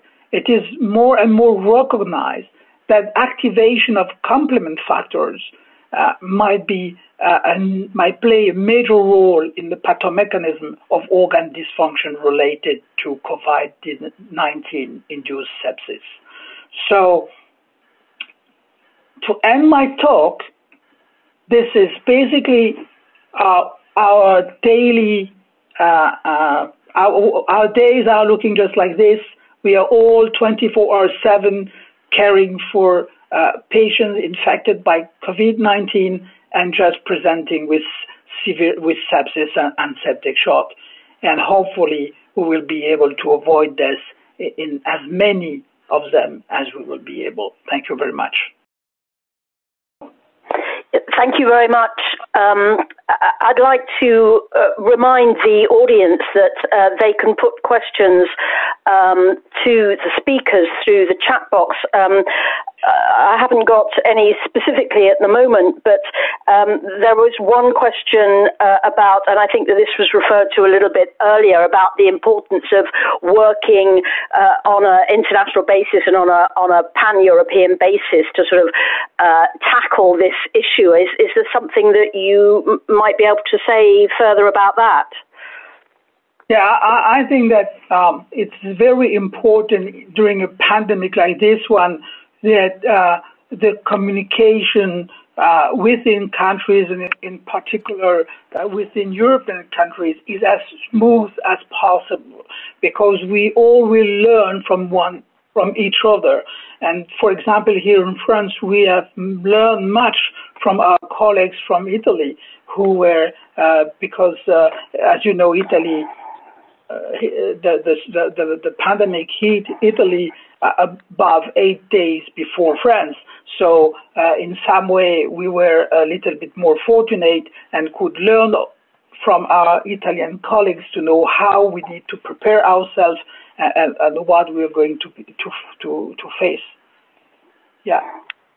Okay, thank you. And I have a question here um, about asking about um, uh, whether you started uh, protocols of immunotherapy in COVID sepsis.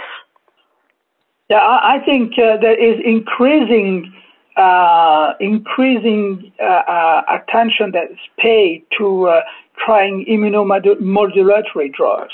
Um, so far, um, the, the, as far as I know, there are ongoing studies looking at um, interleukin 6 uh, anti- monoclonal antibodies against interleukin 6 receptor, for example.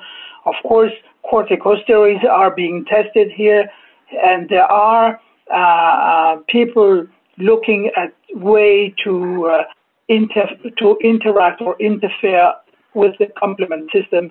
As you know, there are already available in the market a number of molecules that are used to um, modulate the complement system. Okay. Another couple of questions. Could you tell us if you treated your patients with hyper, hydroxychloroquine? And um, another uh, question, um, just a minute. Um, seem to be sound disturbances. Um, uh, what sort of public message be given uh, to, to, people with respect to sepsis and uh, COVID-19, do you think? Yeah, to answer the first question, um, is that actually we're using chloroquine, of course, because there are some data showing that it can reduce the uh, uh viral load uh, in patients and there is no evidence for toxicity, at, at least. So uh, we are giving uh, to all our patients, uh, and at the moment we haven't experienced uh, several side effects. So I would uh, suggest using that that treatment. Uh, and regarding the, the uh, message is that clearly uh, COVID-19 is killing people through sepsis and there's now no doubt uh, about about that. So uh, uh, prevention, because we don't have treatment for COVID-19, preventing people to get infected by having people staying home and avoiding contact with other people is really today the best way to uh, fight against the pandemic. Thank you very much, Mr. Annane. I'm going to move on now because uh, we have many other speakers to hear from. Um, and um, I would like to uh, introduce Mr. Abdullah Alhawsawi, who is one of Saudi Arabia's healthcare quality leaders and advocates, who was appointed Director General of the Saudi Patient Safety Center in 2017. He's a double board certified transplant surgeon and also served as an assistant professor of surgery at King Abdulaziz University in Jeddah. Um, Mr. Um, uh, Alhawsawi, um, the floor is yours. We look forward to hearing uh, uh, from you. We understand that you uh, you specialize in the Middle Eastern region, but uh, also have uh, uh, global insights. The floor is yours. Thank you very much. good afternoon, ladies and gentlemen, and, and, and thank you for the for the nice invitation to speak on on on this very important meeting. So uh, basically, uh, you know, so so over the next 10, 15 minutes, what I what I'm going to talk about is, uh, you know, uh, some of the uh, recent uh, patient safety efforts that took place, you know, at in in Saudi Arabia, at the region, and throughout the globe. And then I'm going to also touch on the importance of linking the two uh, global agendas the Global Patient Safety Agenda and the Global Sepsis Alliance uh, agenda, which to us, these are very much, uh, uh you know, two faces of, of the same coin. And then I'm going to finish off with just a quick word about uh, patient safety and COVID 19. So, uh, basically, you know, the past 20 years, have have seen uh, a lot of uh, progress when it comes to uh, to uh, patient safety uh, efforts. Uh, you know, either at high income countries or low income countries. But if you look at the the slide that shows kind of a diverse, you know, dif- different countries. on the left hand side, there is the the slide with the green that shows uh, the magnitude of the problem uh, in countries like the UK, uh, like the US. You know, the UK has 150 uh, people dying from preventable harm every week, and this this amounts to like having, uh, you know, uh, a 737 Max airplane crashing every week. and then if you look at the United States, every year, based on a, on a study from the BMJ, uh, 251,000 people die from from uh, medical errors, uh, making uh, medical errors uh, and and harm the third leading cause of death after heart disease and cancer. And in 2018, uh, I don't have this on, on, the slide, but in Canada, there was also another study that came out showing 28,000 Canadians died from medical errors and harm. And again, that was the third leading cause of death in Canada. So if you look at uh, low middle income countries, uh, it is also a problem. And the National Academy of Medicine's report showed that 134 million uh, are harmed uh, by adverse events, and every year 2.6 million uh, die from um, adverse events. So this amounts to five people dying uh, every minute. So the summary of this slide is preventable harm and adverse events are a, a problem, a global problem of uh, both high income countries uh, as well as low and middle income countries. So the next slide talks about uh, the reasons for the implementation gap. So we think if there is one thing that we did right over the past 20 years since the establishment of Err is Human, that uh, the knowledge gap has been bridged. So uh, we pretty much know what to do, but we still have uh, a persistent implementation gap. Uh, and I'm, I'm gonna I'm gonna show on, on, and, and, and most of you are aware of the numbers uh, in, in sepsis as one example of preventable harm, but then there are so many others. And we presented in the in the G20 uh, this year, which is the presidency in Saudi Arabia, we presented five reasons for the implementation gap. One is the safety culture. So if you compare the safety culture in, in healthcare uh, to other uh, high reliability uh, industries like aviation, like uh, oil and gas, then there's still a big room for improvement. Uh, advocacy is also another uh, areas that has needs big big improvement. If you compare the the global advocacy of a topic like global warming uh, global climate change compared to the advocacy of uh, patient safety, you could see the, the big difference between, uh, between the two. Resilience is another uh, uh, Uh, uh, area that uh, we need to do uh, more in. and, and this basically is simplified into human factors and, and ergonomics.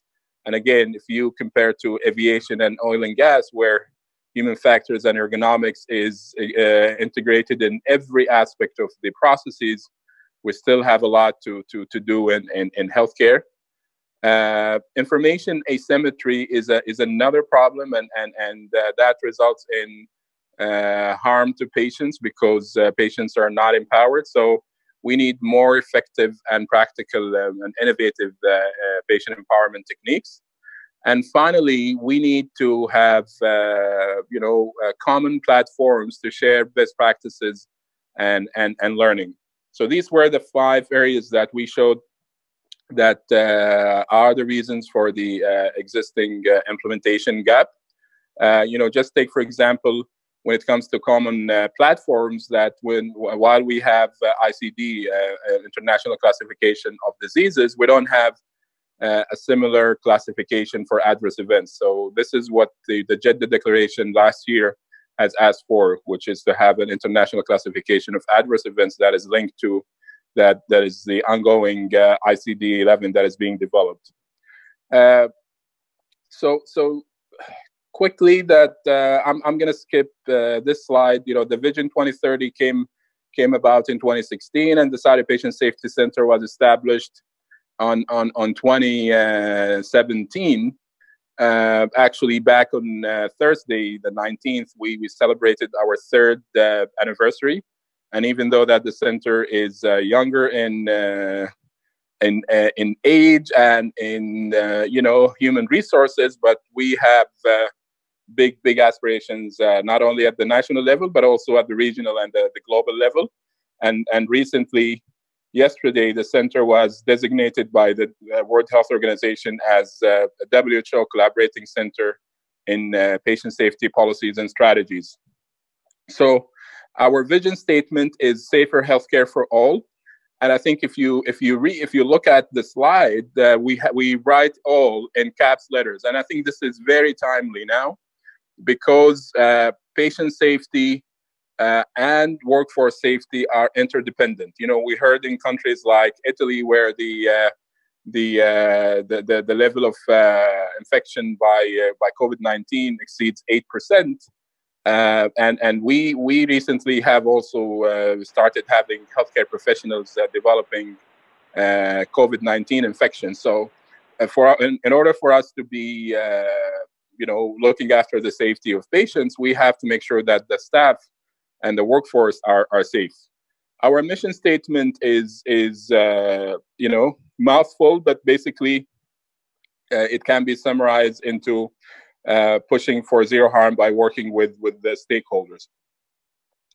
So what happened in in, in over over the past uh, three four years? Uh, you know, the 2016 uh, the Global Ministerial Summit series was established by the UK and and and, and Germany and uh, we participated in all uh, series uh, starting from 2016, which was in London, and then 2017 it was in uh, the uh, in Bonn, Germany, and 2018 was Tokyo, Japan.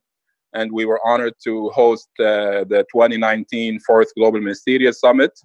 and and and as as the largest summit, we we had almost 50 countries participating uh, with uh, more than 24 ministers leading uh, the delegations, as well as the uh, the former Secretary of, of, of uh, Foreign Affairs in the UK, Mr. Jeremy Hunt, and the Director General Uh, and in 2019, also, you're all aware that the, the, the, World Health Assembly resolution got passed and, and the, uh, which, which established the, the World Patient Safety Day on, on September 17th.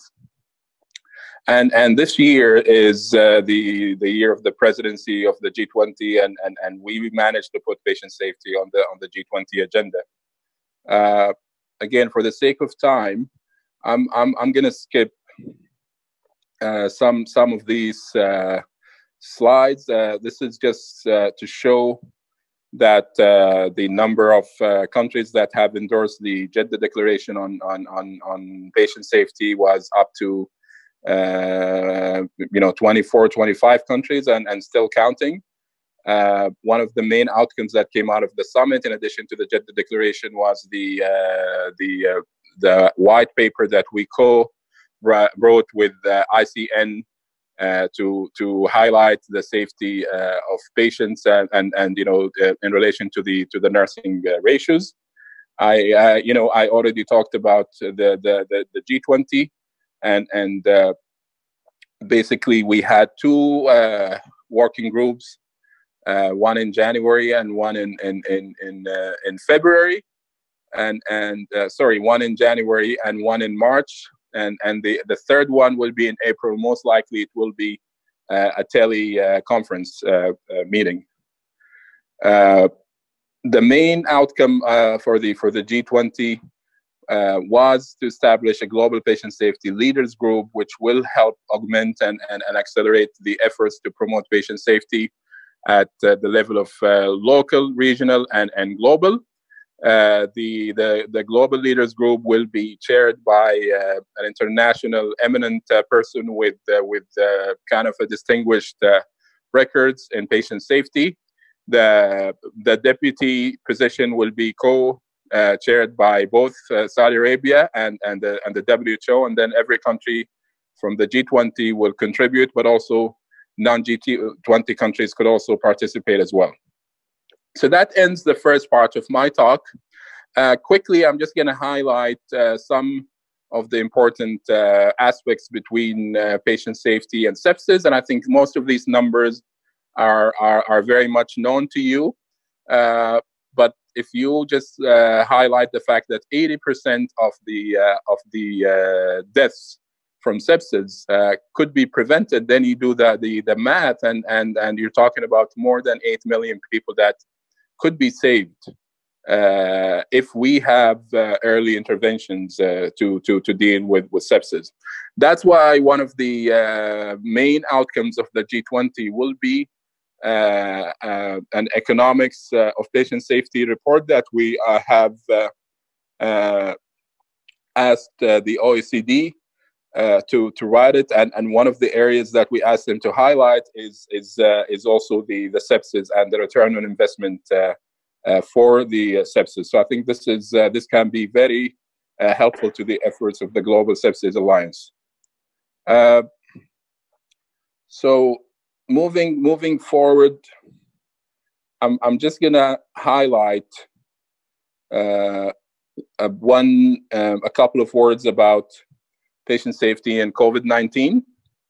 So, uh, two areas uh, come to mind when it comes to how uh, important uh, you know the, the, the global patient safety agenda to to this global uh, efforts on, on, on COVID nineteen. First, uh, you know the basic IPC principles like hand hygiene and hand washing is is is very much uh, top of mind now to not just to healthcare professionals but to the average uh, uh, uh, public. And I think this is a time that we could highlight the importance of trying to uh, increase the hand hygiene compliance rate to to to hundred percent. You know, as a as a goal. as we know, the WHO uh, indicates that uh, the compliance rate in many countries is around 50, 60% uh, uh, at, at, at most. I think this is a time that uh, both uh, healthcare professionals and, and patients and families could work together to aim for, for 100%. Uh, the other thing uh, that I mentioned earlier is the workforce safety. I think this is a this is a time where we uh, have you know the the the the, the great uh, heroic uh, efforts of healthcare professionals in, in every country you know uh, go, you know going uh, uh, Uh, beyond uh, and and and and uh, you know putting themselves at risk and harm's way to to help patients. I think it is our duty to to make sure that the workforce are safe uh, not just physically but psychologically, and they are supported with the, with the PPEs that are uh, needed. So uh, I hope as we move forward, we we, we highlight this this important uh, area and and the importance of that on patient safety. One other thing that we wanted to make sure that does not get overlooked is while we have a major focus and emphasis on COVID 19, uh, we know that there are many, many uh, patients that uh, are in our healthcare systems that uh, do not have COVID 19, but they still need our help and support, and we want to make sure that we don't overlook them. Uh, this is why we're in Saudi Arabia. We, we uh, collaborated with the medical societies to create a, a, a prioritization framework for how to classify patients into uh, emergency cases, uh, urgent and semi-urgent, and, and elective, and and, and uh, you know we're pushing that for elective cases, anything that could wait beyond month a month, whether as an outpatient or an inpatient setting, to to wait. But for a semi-urgent and urgent as well as emergency, we want to make sure that those patients are not harmed. So my last slide is, and in these uh, trying times, I think uh, I'm, I'm, always uh, trying to, to, to, kind of uh, be reminded of uh, these wise uh, words from, from, from Einstein when, when he said, you know, we cannot solve our problems with the same thinking that created them. So, so the thinking that created, uh, you know, 11 million deaths from sepsis as just one type of, of, of harm that, that is preventable and and the thinking that created so many other harms uh, that, that we we need to figure out a different way to to deal with those uh, challenges uh, to make sure that uh, we are improving safety and we're minimizing harm for for all the patients. Thank you very much for listening. Thank you very much, uh, Dr. Al Hawsawi.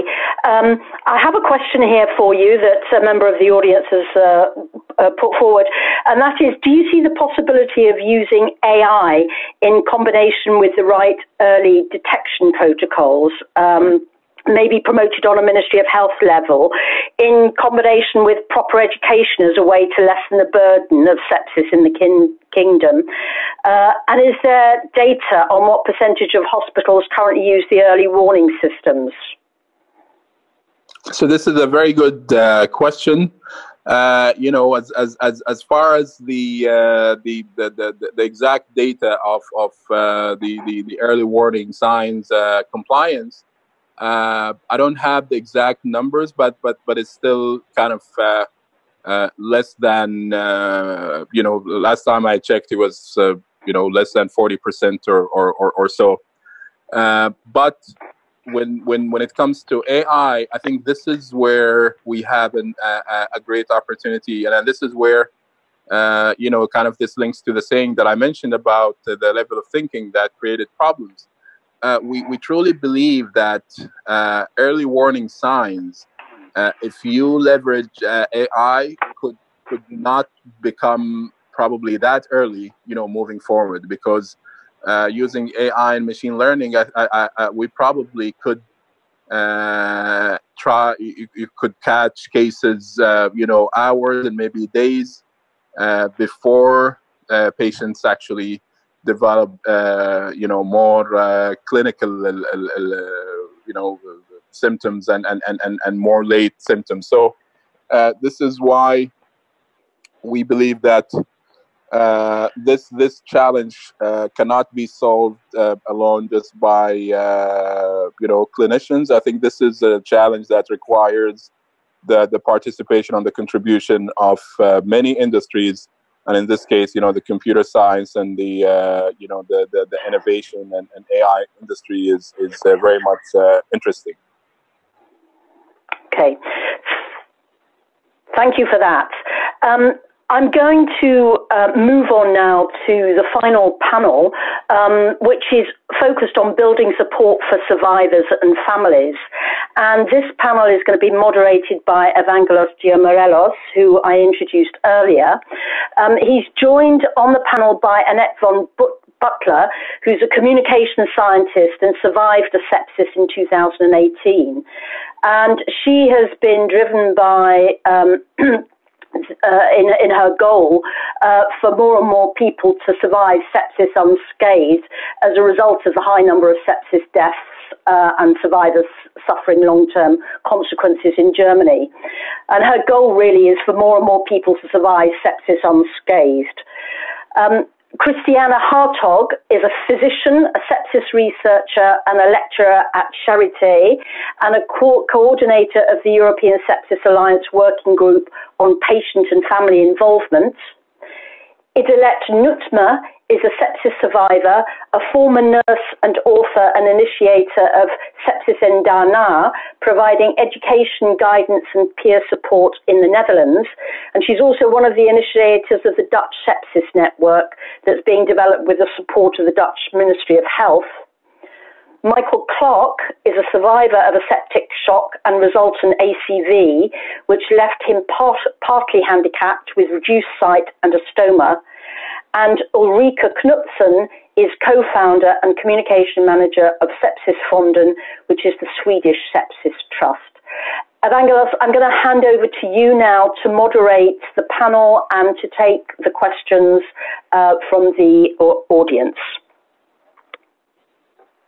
Well, thank you very much. And it's really a privilege uh, because now we will listen to, for the first time, to something that has never been uh, shown so far, and which is actually uh, the experience of survivors and the real problem. Because, uh, you know, several times as physicians uh, who are just interested uh, on recharge, on discharging the patient from our ICUs, we forget something which is crucial.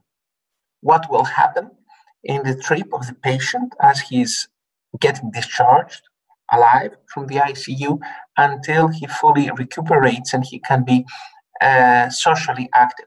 So I would like to address the first uh, speaker, uh, Dr. Hartog. Dr. Hartog uh, is professor in La Charité in Berlin, and she is also chairing the working group uh, on family and patient support of ESA. Uh, professor Hartog. Thank you, Evangelos, and, and welcome everybody on this interesting meeting to the ESA Working Group, Patient and Family Involvement. I'm speaking here also on behalf of my co-coordinator, Aurika Pripa, who is the wife, the spouse of a sepsis survivor. And uh, we have realized that not only is it important what comes after sepsis and the situation for survivors, but it is also important how families uh, can engage and are supported during the acute care in the hospital that uh, uh, shapes coping with this uh, disease and the aftermath, aftermath uh, afterwards. So on this slide, I give you an overview over what we are doing and what we are trying to achieve. We believe that families, that patients, we have a voice and we should be regarded as equal partners in healthcare, equal to clinicians and working together. It is better to work together in the fight against sepsis. And how do we want to do this? We want to educate and want to help improve the education of the public so that people know about sepsis and sepsis aftermath and can act on this knowledge. And as you see, it's not only important to know, to have cognitive knowledge, but also to be empowered to be able to act, to be able to speak to clinicians, to uh, to to ask them for certain things that are needed and that should be done. Uh, we voice actively the need for rehabilitation and aftercare, and there are practically no structures in place, and we need to develop concepts for this. And, and I think the, the, the biggest challenge is that we strive for a culture change so that family centered care becomes the norm throughout Europe.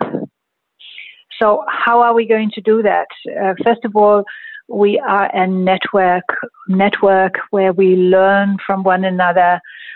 Uh, we share experiences, back practice, and we support each others with ideas and with uh, things like materials that have been developed and are being used. And as you can see, the first product that uh, we can launch during this meeting is a brochure that ha- has been developed and is written now in English called Life After Sepsis Guide. It is meant for patients and families in hospital or after hospital. It uh, will be distributed through hospitals and through our network, and you can download it free from the website. Uh, and uh, it is in English, but we plan to translate it also into other languages. And at this time, I want to call also for volunteers who will help us with this. So I'm very proud and I thank the group for their dedication and hard work to make this possible. And it's a pity we do not have it in our hands printed today to to touch it and to to show it to everybody. It's online now, so we look at it online. And uh, congratulations, I think, for the group for this first product. We work with national advocacy groups. We support uh, you if you want to set this up in your country. And I want to end with uh, my main message, and that is that actually now, as we are experiencing the surge, the pan- building up pa- pandemics of COVID 19, and we've heard how it's related to sepsis. So, as the cases increase, we expect many sepsis cases, sepsis supporters, and families in need. How important it is to give information and support uh, for families and sepsis survivors. And please keep in mind, even this new pandemic does not stop when hospital treatment is over, but there's a lot of need still going on, and we want to address it. So thank you. Well, we do thank you, uh, Professor Hartog. Uh, are there any questions that we have from those who are attending us? If not, I would like to, because there are a lot of participants, and as you noticed, there is a short time available to each and everyone, and then we will have a type of debate discussion. I think it's high time that uh, we understand what are the needs of the patients. So uh, I would like to uh, ask, uh, and I would uh, much uh, invite Mr. Michael Clark to give us not only his experience as a sepsis survivor, but also to tell us what are the main things that he would advise as physicians to improve in order to collaborate better with family and with patients themselves. Uh, thank you. Um, I'm sorry that I, I seem to have missed the um, booklet by four years on life after sepsis. Um, I suffered my uh, sepsis when I was uh, just retired finally at the age of 69 from an international career with PwC, and uh, I'd been operated on um, in 1990 for colon cancer by a leading in a leading Belgian university hospital. Um, followed by regular checkups there and the removal of polyps and such like. But in early 2016, it was uh, decided that what was left of my colon should be uh, removed in a procedure which was presented as avoiding the need for a stoma. So I was operated on mid middle of March 2016 by a successor to the professor who had operated on me in 1990 and followed me up until his recent retirement, during which time he had become a very good friend, luckily. After the operation, I started to run a temperature and my blood pressure was falling. My wife queried the slow response of the medical staff in the absence of the professor who had operated on me. She luckily contacted our medical friend. By then, I'd suffered a septic shock and was in a coma, indeed, for three weeks. Our friend monitored the remedial treatment, which included a second operation and the placing of a permanent stoma. He briefed my wife almost daily during the three weeks that I was in intensive care, during which time I'd suffered um, an ACV, uh, thrombosis, two heart stoppages, uh, before my situation was actually stabilized. In early May that year, I was transferred to an independent, specialized revalidation clinic in Kandal near Brussels, which my wife had been recommended by someone in a bridge club. I then weighed 55 kilos, was largely immobile, with limited sight and a stoma. I was treated there until January 2017, first as a resident for four months and then three days a week as an outpatient. As a result of my septic shock, I'm officially uh, nine points disabled on the official Belgium scale with a stoma, hemianopsia on my right side, my 120 degree field of vision, uh, impaired balance, and some residual problems with one finger, some toes, and a loss of memory. Um, however, thanks to my revalidation, I'm now able to regularly swim in the summer between 300 and 500 meters walk up to 10 kilometers with Nordic sticks. I drive some 20,000 kilometers a year and spend quite a lot of time gardening in a very large wild garden. I had had to stop working as a volunteer executive director of an ONG, but I'm now working with them again increasingly. My very successful recovery, as I see it, is in large parts thanks to the excellent revalidation program I followed at Inkendaal. Um, positive and negative points. Well, official support has been pretty limited, principally to a European disabled parking permit and some tax benefits which I cannot profit from. Um, support from my wife in particular came largely from our medical friend, family, and other friends. Apart from one brief checkup when I was still at Inkendaal in revalidation, I have heard nothing more from the University Teaching Hospital in which I suffered my septic shock. That, I think, sums it up and it highlights, I think, the, the need for, first of all, better sepsis awareness and diagnosis, even in a leading university hospital, keeping family well informed of what was going on, and particularly to provide good advice on revalidation and coping with sepsis, post sepsis life, which I think where Professor Hartog's booklet should prove invaluable. Thank you.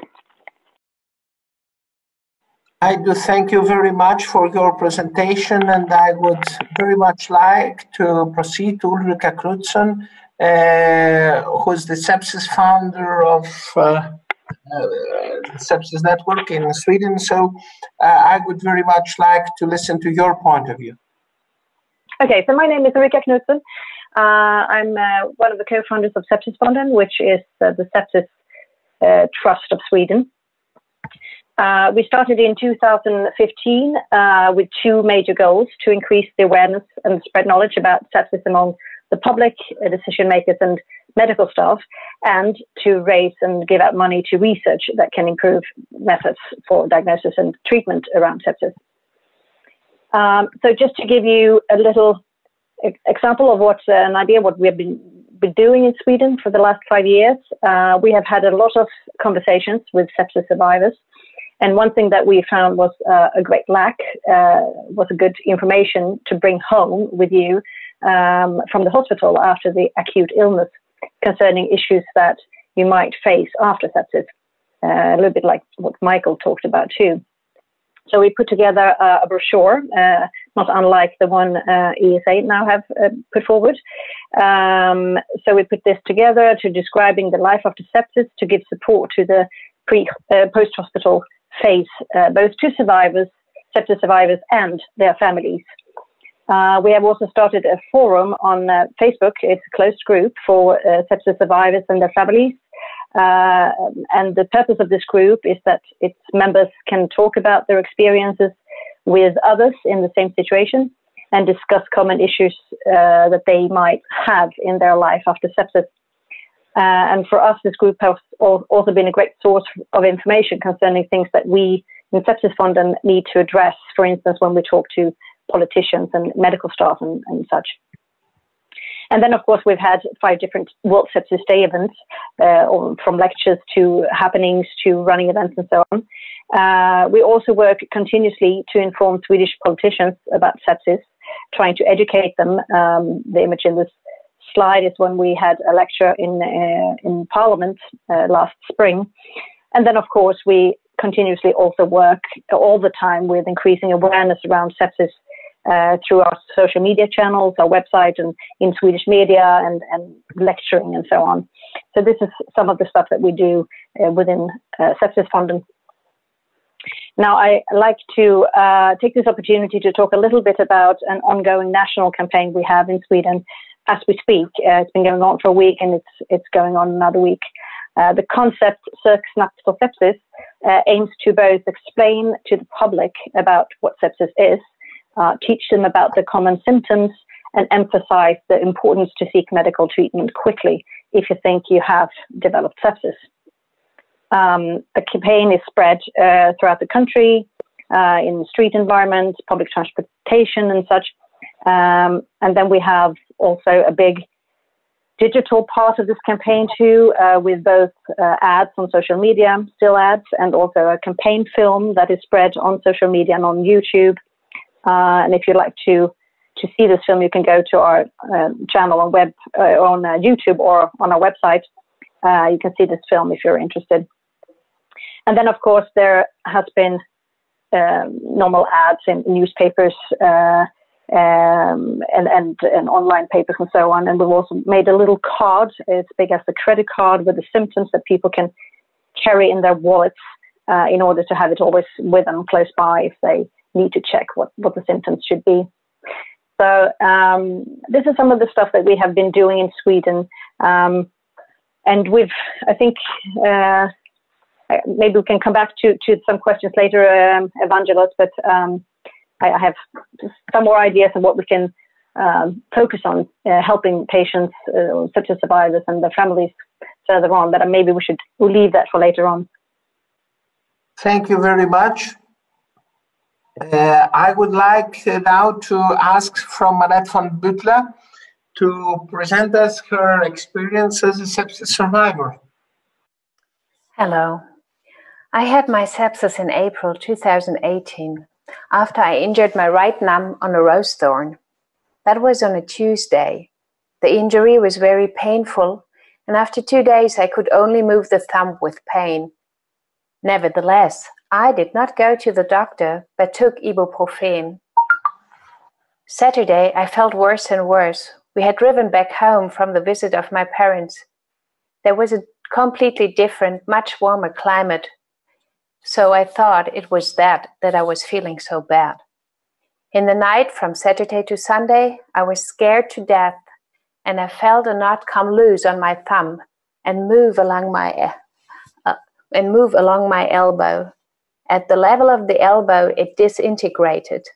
I was terribly afraid, and my husband had to sit by the bed. Neither of us had the idea to call an ambulance. It was really weird. Sunday morning at six o'clock, I walked to the nearest hospital and introduced myself. There was no real wound on my thumb anymore. the doctor said to me, You don't have anything else. Lie back down and keep taking ibuprofen. We were out of the ibu, we were out of ibuprofen at the at home, so I had to walk to the emergency pharmacy. And on the way there, there was this huge fainting inside of me. I felt and I knew the doctor was wrong. But what could I do? So I took ibuprofen and tried to have a nice day with my two little boys who were three and eight at the time and my husband and spent most of the day again on the sofa. In the late afternoon, a doctor friend called. She knew about the injury and she wanted to know how I was doing and immediately asked how many milligrams of ibuprofen I had taken. 1,500 milligram, more than ever before in my life. She spoke briefly with her husband, who was doing his specialist training in emergency and intensive care medicine at the time, and he immediately sent me back to the same hospital. With a winter jacket, hot water bottle, deadly pale and weak, I went there again and could convince the doctor at the time to make a blood count. I had a raised temperature, which was helpful. The blood count was very conspicuous and showed an inflammation in my body. The whole right side of my body was already swollen at the time. It felt as if the two halves of my body had separated. The doctor gave me a dose of antibiotics for the evening and one for the morning to take home. The antibiotic is given for injuries with street dirt. Around 11 p.m., I got chills. It was another horrible night. In the morning, I went to my longtime family doctor. He partly retired in 2017, but he was still open for privates. He was immediately alarmed when he saw me and he prescribed the antibiotic for a week. So I had to pay it by myself and it cost only 52 euro. It saved my life. On Wednesday, he did another blood, blood test. It was almost good. At the end of the treatment, he was shocked how weak I was, and he was sure that one day after, or one day later, it would have been life threatening and not to be treated in this way anymore. So I haven't been to the hospital. Everything um, I did was drinking a lot of water, taking the antibiotics, and stay at home. Since then, I have developed a new allergy against roses and had prob- problems with the right side of my body for two years now. I had an accident over 30 years ago, which also damaged the right side of my body.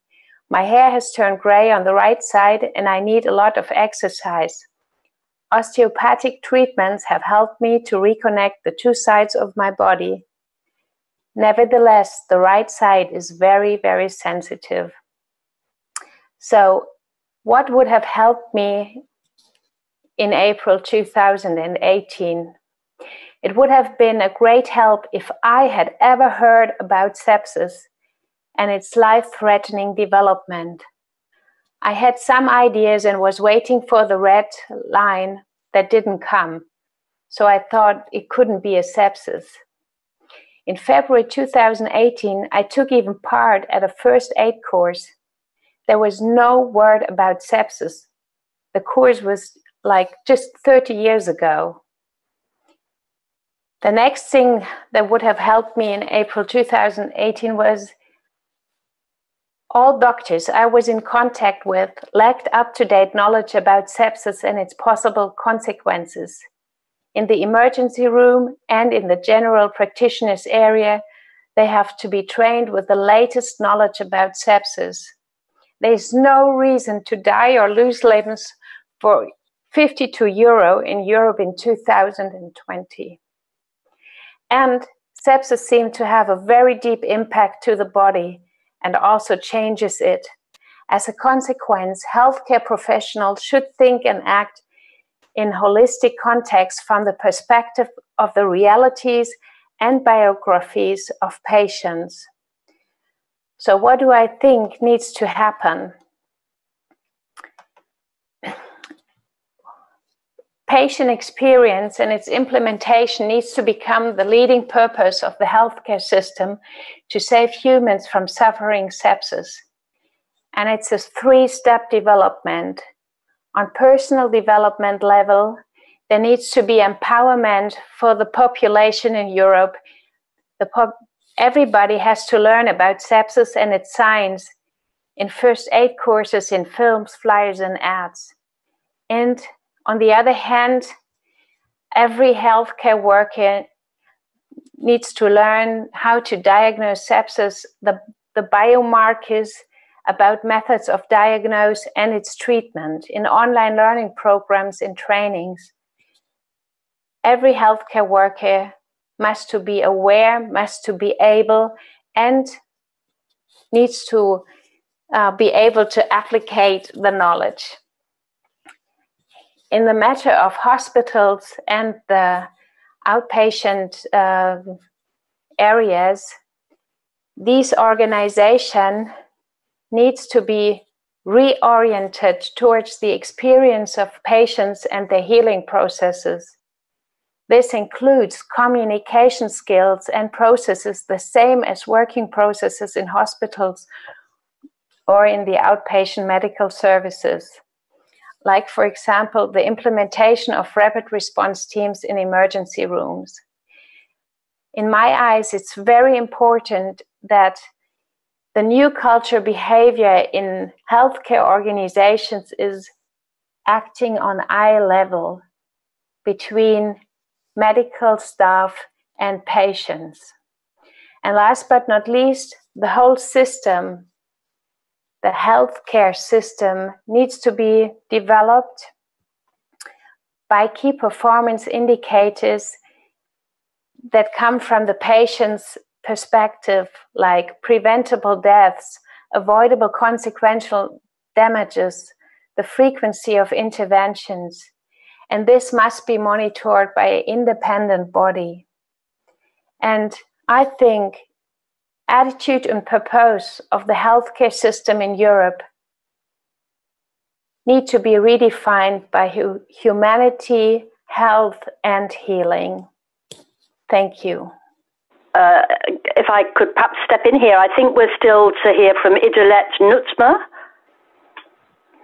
Uh, it, uh, would you like to go ahead, Idelette? Because I think that yes. we've uh, lost Evangelos and we'd like to hear uh, from you. Okay. No, please. Well, first of all, I'm a grateful mother and wife, very grateful for a second chance. Um, it's great to be part of this. Thank you. Um, I was admitted to the ICU in 2007 with a septic shock, and it really struck me like lightning. And I remember my rapid deterioration and fearing for my life. And it was a really hard time for my family as well. Thank God I turned the corner. But during my recovery, I really felt in no man's land with no aftercare whatsoever. Now that triggered me to bring all the information about sepsis and its sequelae together in a book. The book is called Sepsis and Afterwards. And I got the chance to offer it to the GSA as well. And thus I provided, tried to provide a clear lead to my fellow survivors. And I launched a website in the Netherlands educating the public and providing possibilities for guidance and launching uh, a platform, a private Facebook group for online peer support. And that works great because uh, people can exchange IDs and it works great. And what really strikes me is sepsis has got so many hidden faces. It resembles a flu at first, but also the after effects can be so hidden. For instance, the neurocognitive sequelae, uh, a weakened immune system, uh, the tiredness, those are all hidden faces of sepsis.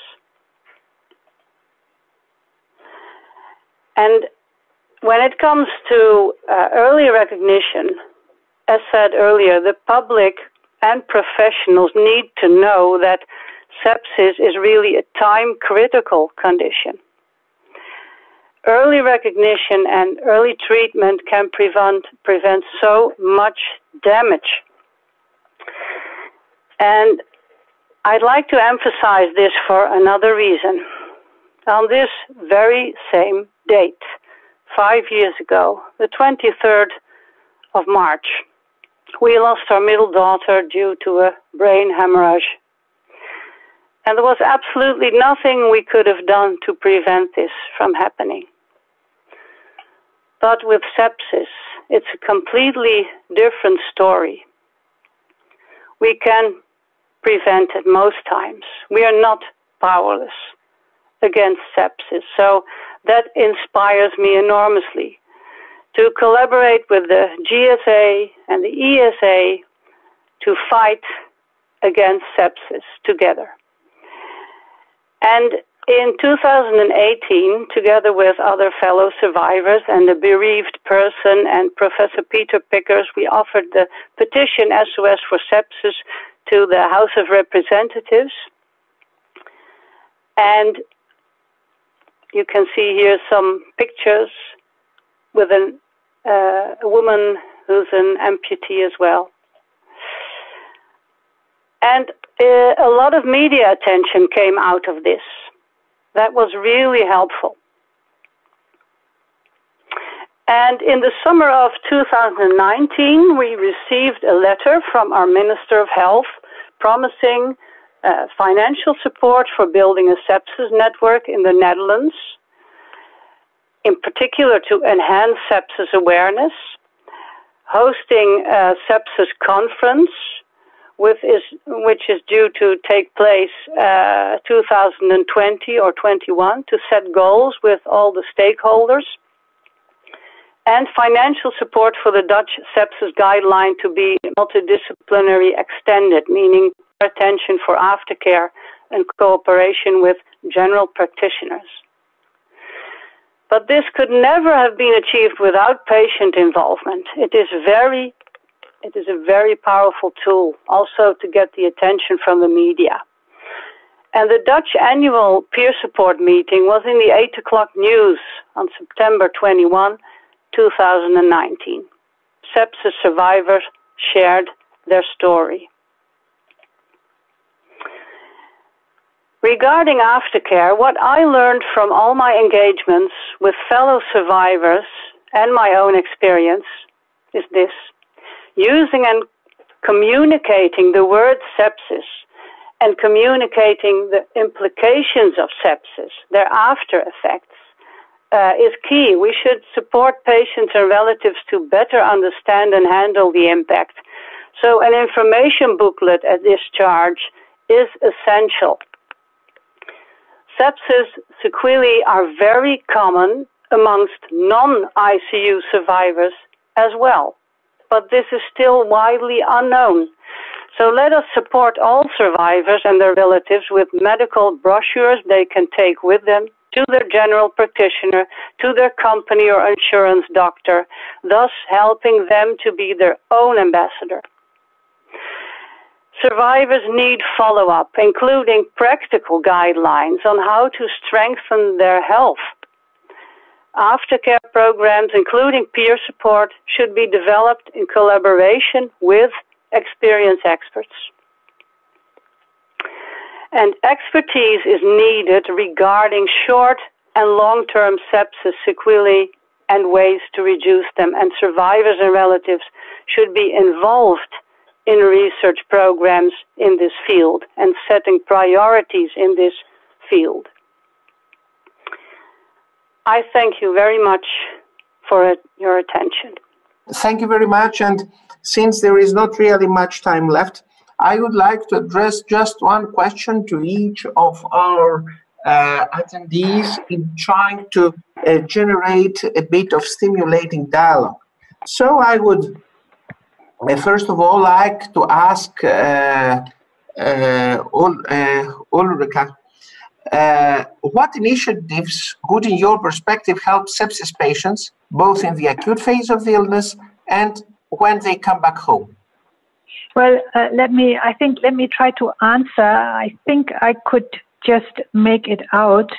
I think he asked how we can improve the situation for patients in hospitals and their family members. We have listened to very moving stories which show that we have deficits uh, over the whole range of the okay. system. It starts in the preclinical, you know, in the emergency situation when patients are turned back, when when family members are yeah. not heard, when they uh, call for help uh, because of two things. One is, of course, the lack of knowledge of uh, professional people, but the other is the traditional neglect of lay people's opinion. You know, whatever the patient says and family members say, it's not important. Medical experts have a superior knowledge. And this is what we mean when we say we need a culture change and yeah. we need to work together we need to make clear, and we must do this with a very uh, loud and and clear voice that we are not taking this any longer. Um, that uh, families and and patients are uh, like underdogs in the hospital. We need to make clear how important it is to get their information and to get their help, uh, even up to taking part in nursing activities and in making the, the patient well. So this is only just the beginning. Yeah. Can also Ulrika comment on the same question? Yeah. Yeah. Uh, so, so what I, I um, if I understand you right, um, I think there is really two fields uh, that survivors talk a lot about in Sweden. Um, and one is that, as we have talked about here now, they find it hard to, to get valid information during the actual acute illness. Um, I guess mostly that applies to the people around, the family around suffering, the, the person who is suffering from sepsis. Um, but another thing is that many survivors witness problems after they get home from, from, from hospital uh, uh, to get the right post-hospital treatment or even understanding from medical centers uh, uh, what they are suffering from uh, when it comes to complications after sepsis. They don't always understand the link between the, their complications and, uh, and their prior sepsis. Um, so I think there's really two things that we can do um, to, to, um, to help sepsis survivors. Uh, so yeah, I think it when it comes to addressing the problem with the lack of information in the acute situation, we need to get a better process, as we as we said, with uh, within the hospital uh, in place to handle the, flow of information all through the clinical treatment to the surrounding family, but also to the patient. Um, that's one thing that is really important, and also make sure that when you leave the hospital, you have valid and solid information handed to you concerning what you can expect when you get home. But there's also, we, we talk about the life after sepsis. I think um, many survivors would like uh, very much to be helped, uh, if, be very much helped if we create some kind of more post sepsis clinics. Uh, I think this is something we need to look at where you can have cross competence from different medical disciplines who are focused on the post sepsis complications, whether it's physical or mental issues. Uh, that's one thing that we've been looking looking at in, Sweden and have some some pilots uh, going on too. But I think that's something we really need to be better at. Um, so it's really, as we said before, it's from from the acute situation, from the ambulance, the information flow, and also be able to to listen more to the people who, because you know, if you have sepsis or the, the the people close to you know this person, my my husband or my wife or my child or my mother, she is not herself. There's something severely wrong. We need to listen to them. And we also, in the campaign that we are doing right now in Sweden, we there's a, a phrase in the bottom of this whole uh, message that when you get to the hospital or the medical center, don't be afraid. Just ask. Just like in, in the UK, that's our message. Just ask, could it be sepsis? Because I think sometimes the medical staff is it's not on the top of their minds uh, all, all the time. So that, that is also important, I think. I would like to uh, ask, based on this, uh, Michael, uh, and of course, I will address the same question to the rest of the panel. How ready do you feel the relatives are to listen to the uh, shocking words that uh, from the physicians that uh, their relatives are suffering from sepsis and how will they deal with this? Well, in, in, in my personal case, um, it would have been pretty disastrous had it not been for the fact that we had a very well qualified retired medical friend who was able to brief my wife in the absence of any briefing from the uh, professor who'd actually operated on me, who was notable by his absence, um, and indeed the medical staff, excluding one or two nurses, who apparently, when I was in the ICU, at one stage I was linked up to a machine to uh, transfuse uh, slightly cooled blood um, to keep me going. And at least one of the nurses was prepared to explain to my wife what was going on. But that was a little bit of rare um, occurrence. I think the, there's basically a, a, not just a lack of, at least in my experience, a lack of understanding of sepsis by some medical professionals, but also a, a lack of capability to interact with family and the patient him or herself. Uh, I think that's something where, at least in Belgium, some attention needs to be paid. Uh, what has been said by um, the other members of the panel, I think, is all very relevant. But it comes down to, frankly, uh, basic, um, I'd say, correct behavior towards the patient. Uh, what Annette would I was, this? I would just add that the, Sorry, the contrast between the contrast between the uh, university hospital where I was suffered my septic shock and the excellent revalidation clinic, which had a very interesting team approach to revalidation. Um, starting off with questioning, in my case, me, uh, also what one did before. And they, they had the stated aim of trying to get you back to where you had been before, or at least as far as that was possible. In my case, they, they set an aim of about 95%. And they had a very interesting team approach, which included the kinesiotherapists, the, a doctor, uh, a psychiatrist, a social assistant, and I noticed all very young, and they had a a very good approach. It was almost competitive against other teams surrounding other patients in the neurological uh, ward where I was. And that made a real difference. I mean, they spent two months training me to be able to drive a car again. Little details like that. So I think more attention to interaction with the pa- patient and family in the hospital, and particularly good revalidation. Thank you very much for that. I would like to ask uh, Annette. Uh, do you uh, believe that uh, if uh, people was aware that uh, early admission to hospital helps, would that help tremendously if we could more efficiently provide this message?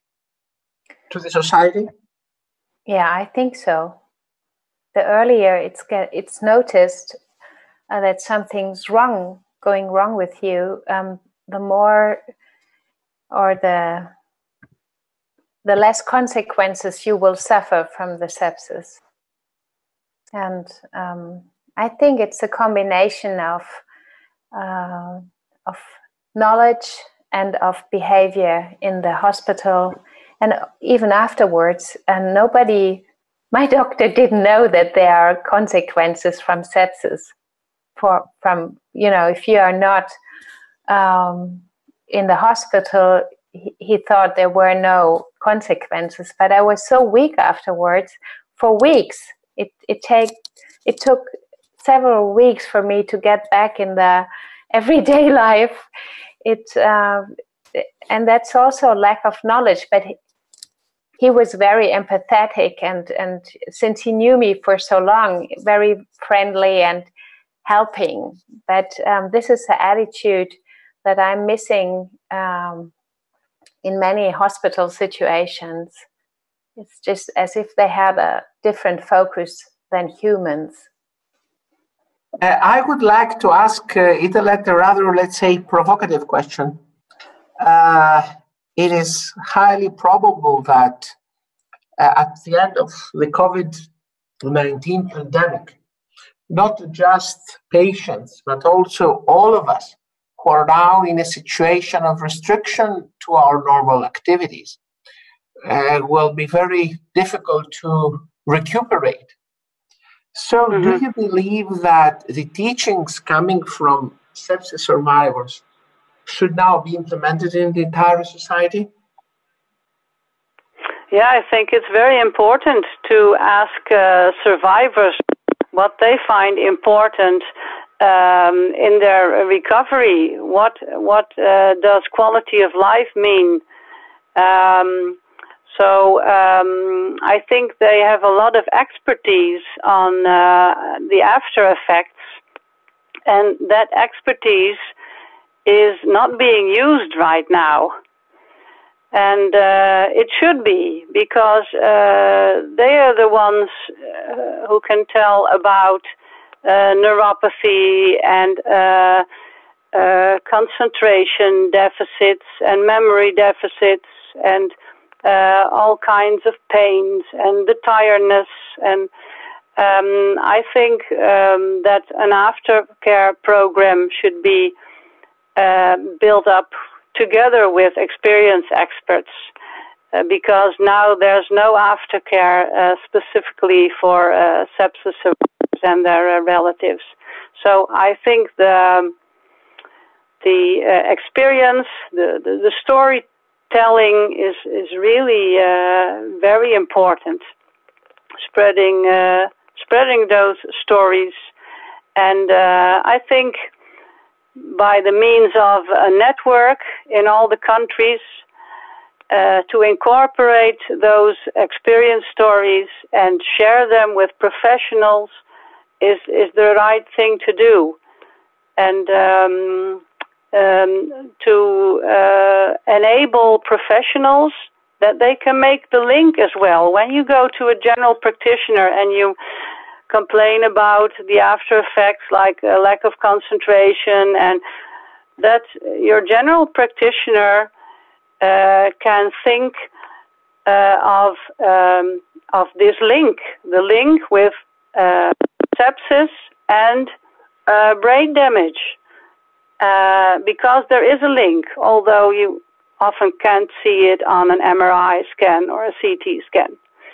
And that link isn't being made right now, so people are struggling to rehabilitate in their work, but uh, often they don't succeed and they need that support and that recognition. Well, I would really very much like to thank all the panel, and I think that was really stimulating.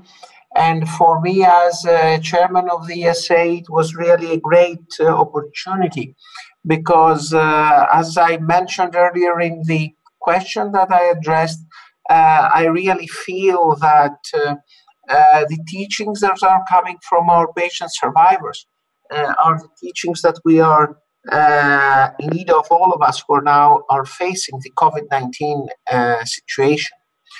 Uh, I would uh, like to conclude uh, this um, uh, ESA meeting, and there is no doubt that all of us who participate and who are dealing with patients and our survivors are know very well what sepsis is.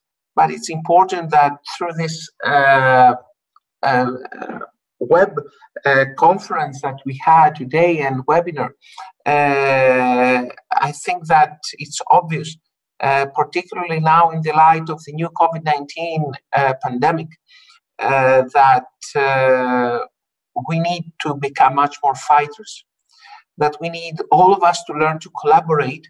And actually, I think it's high time for all governmental authorities around the globe to change the way they perceive about sepsis.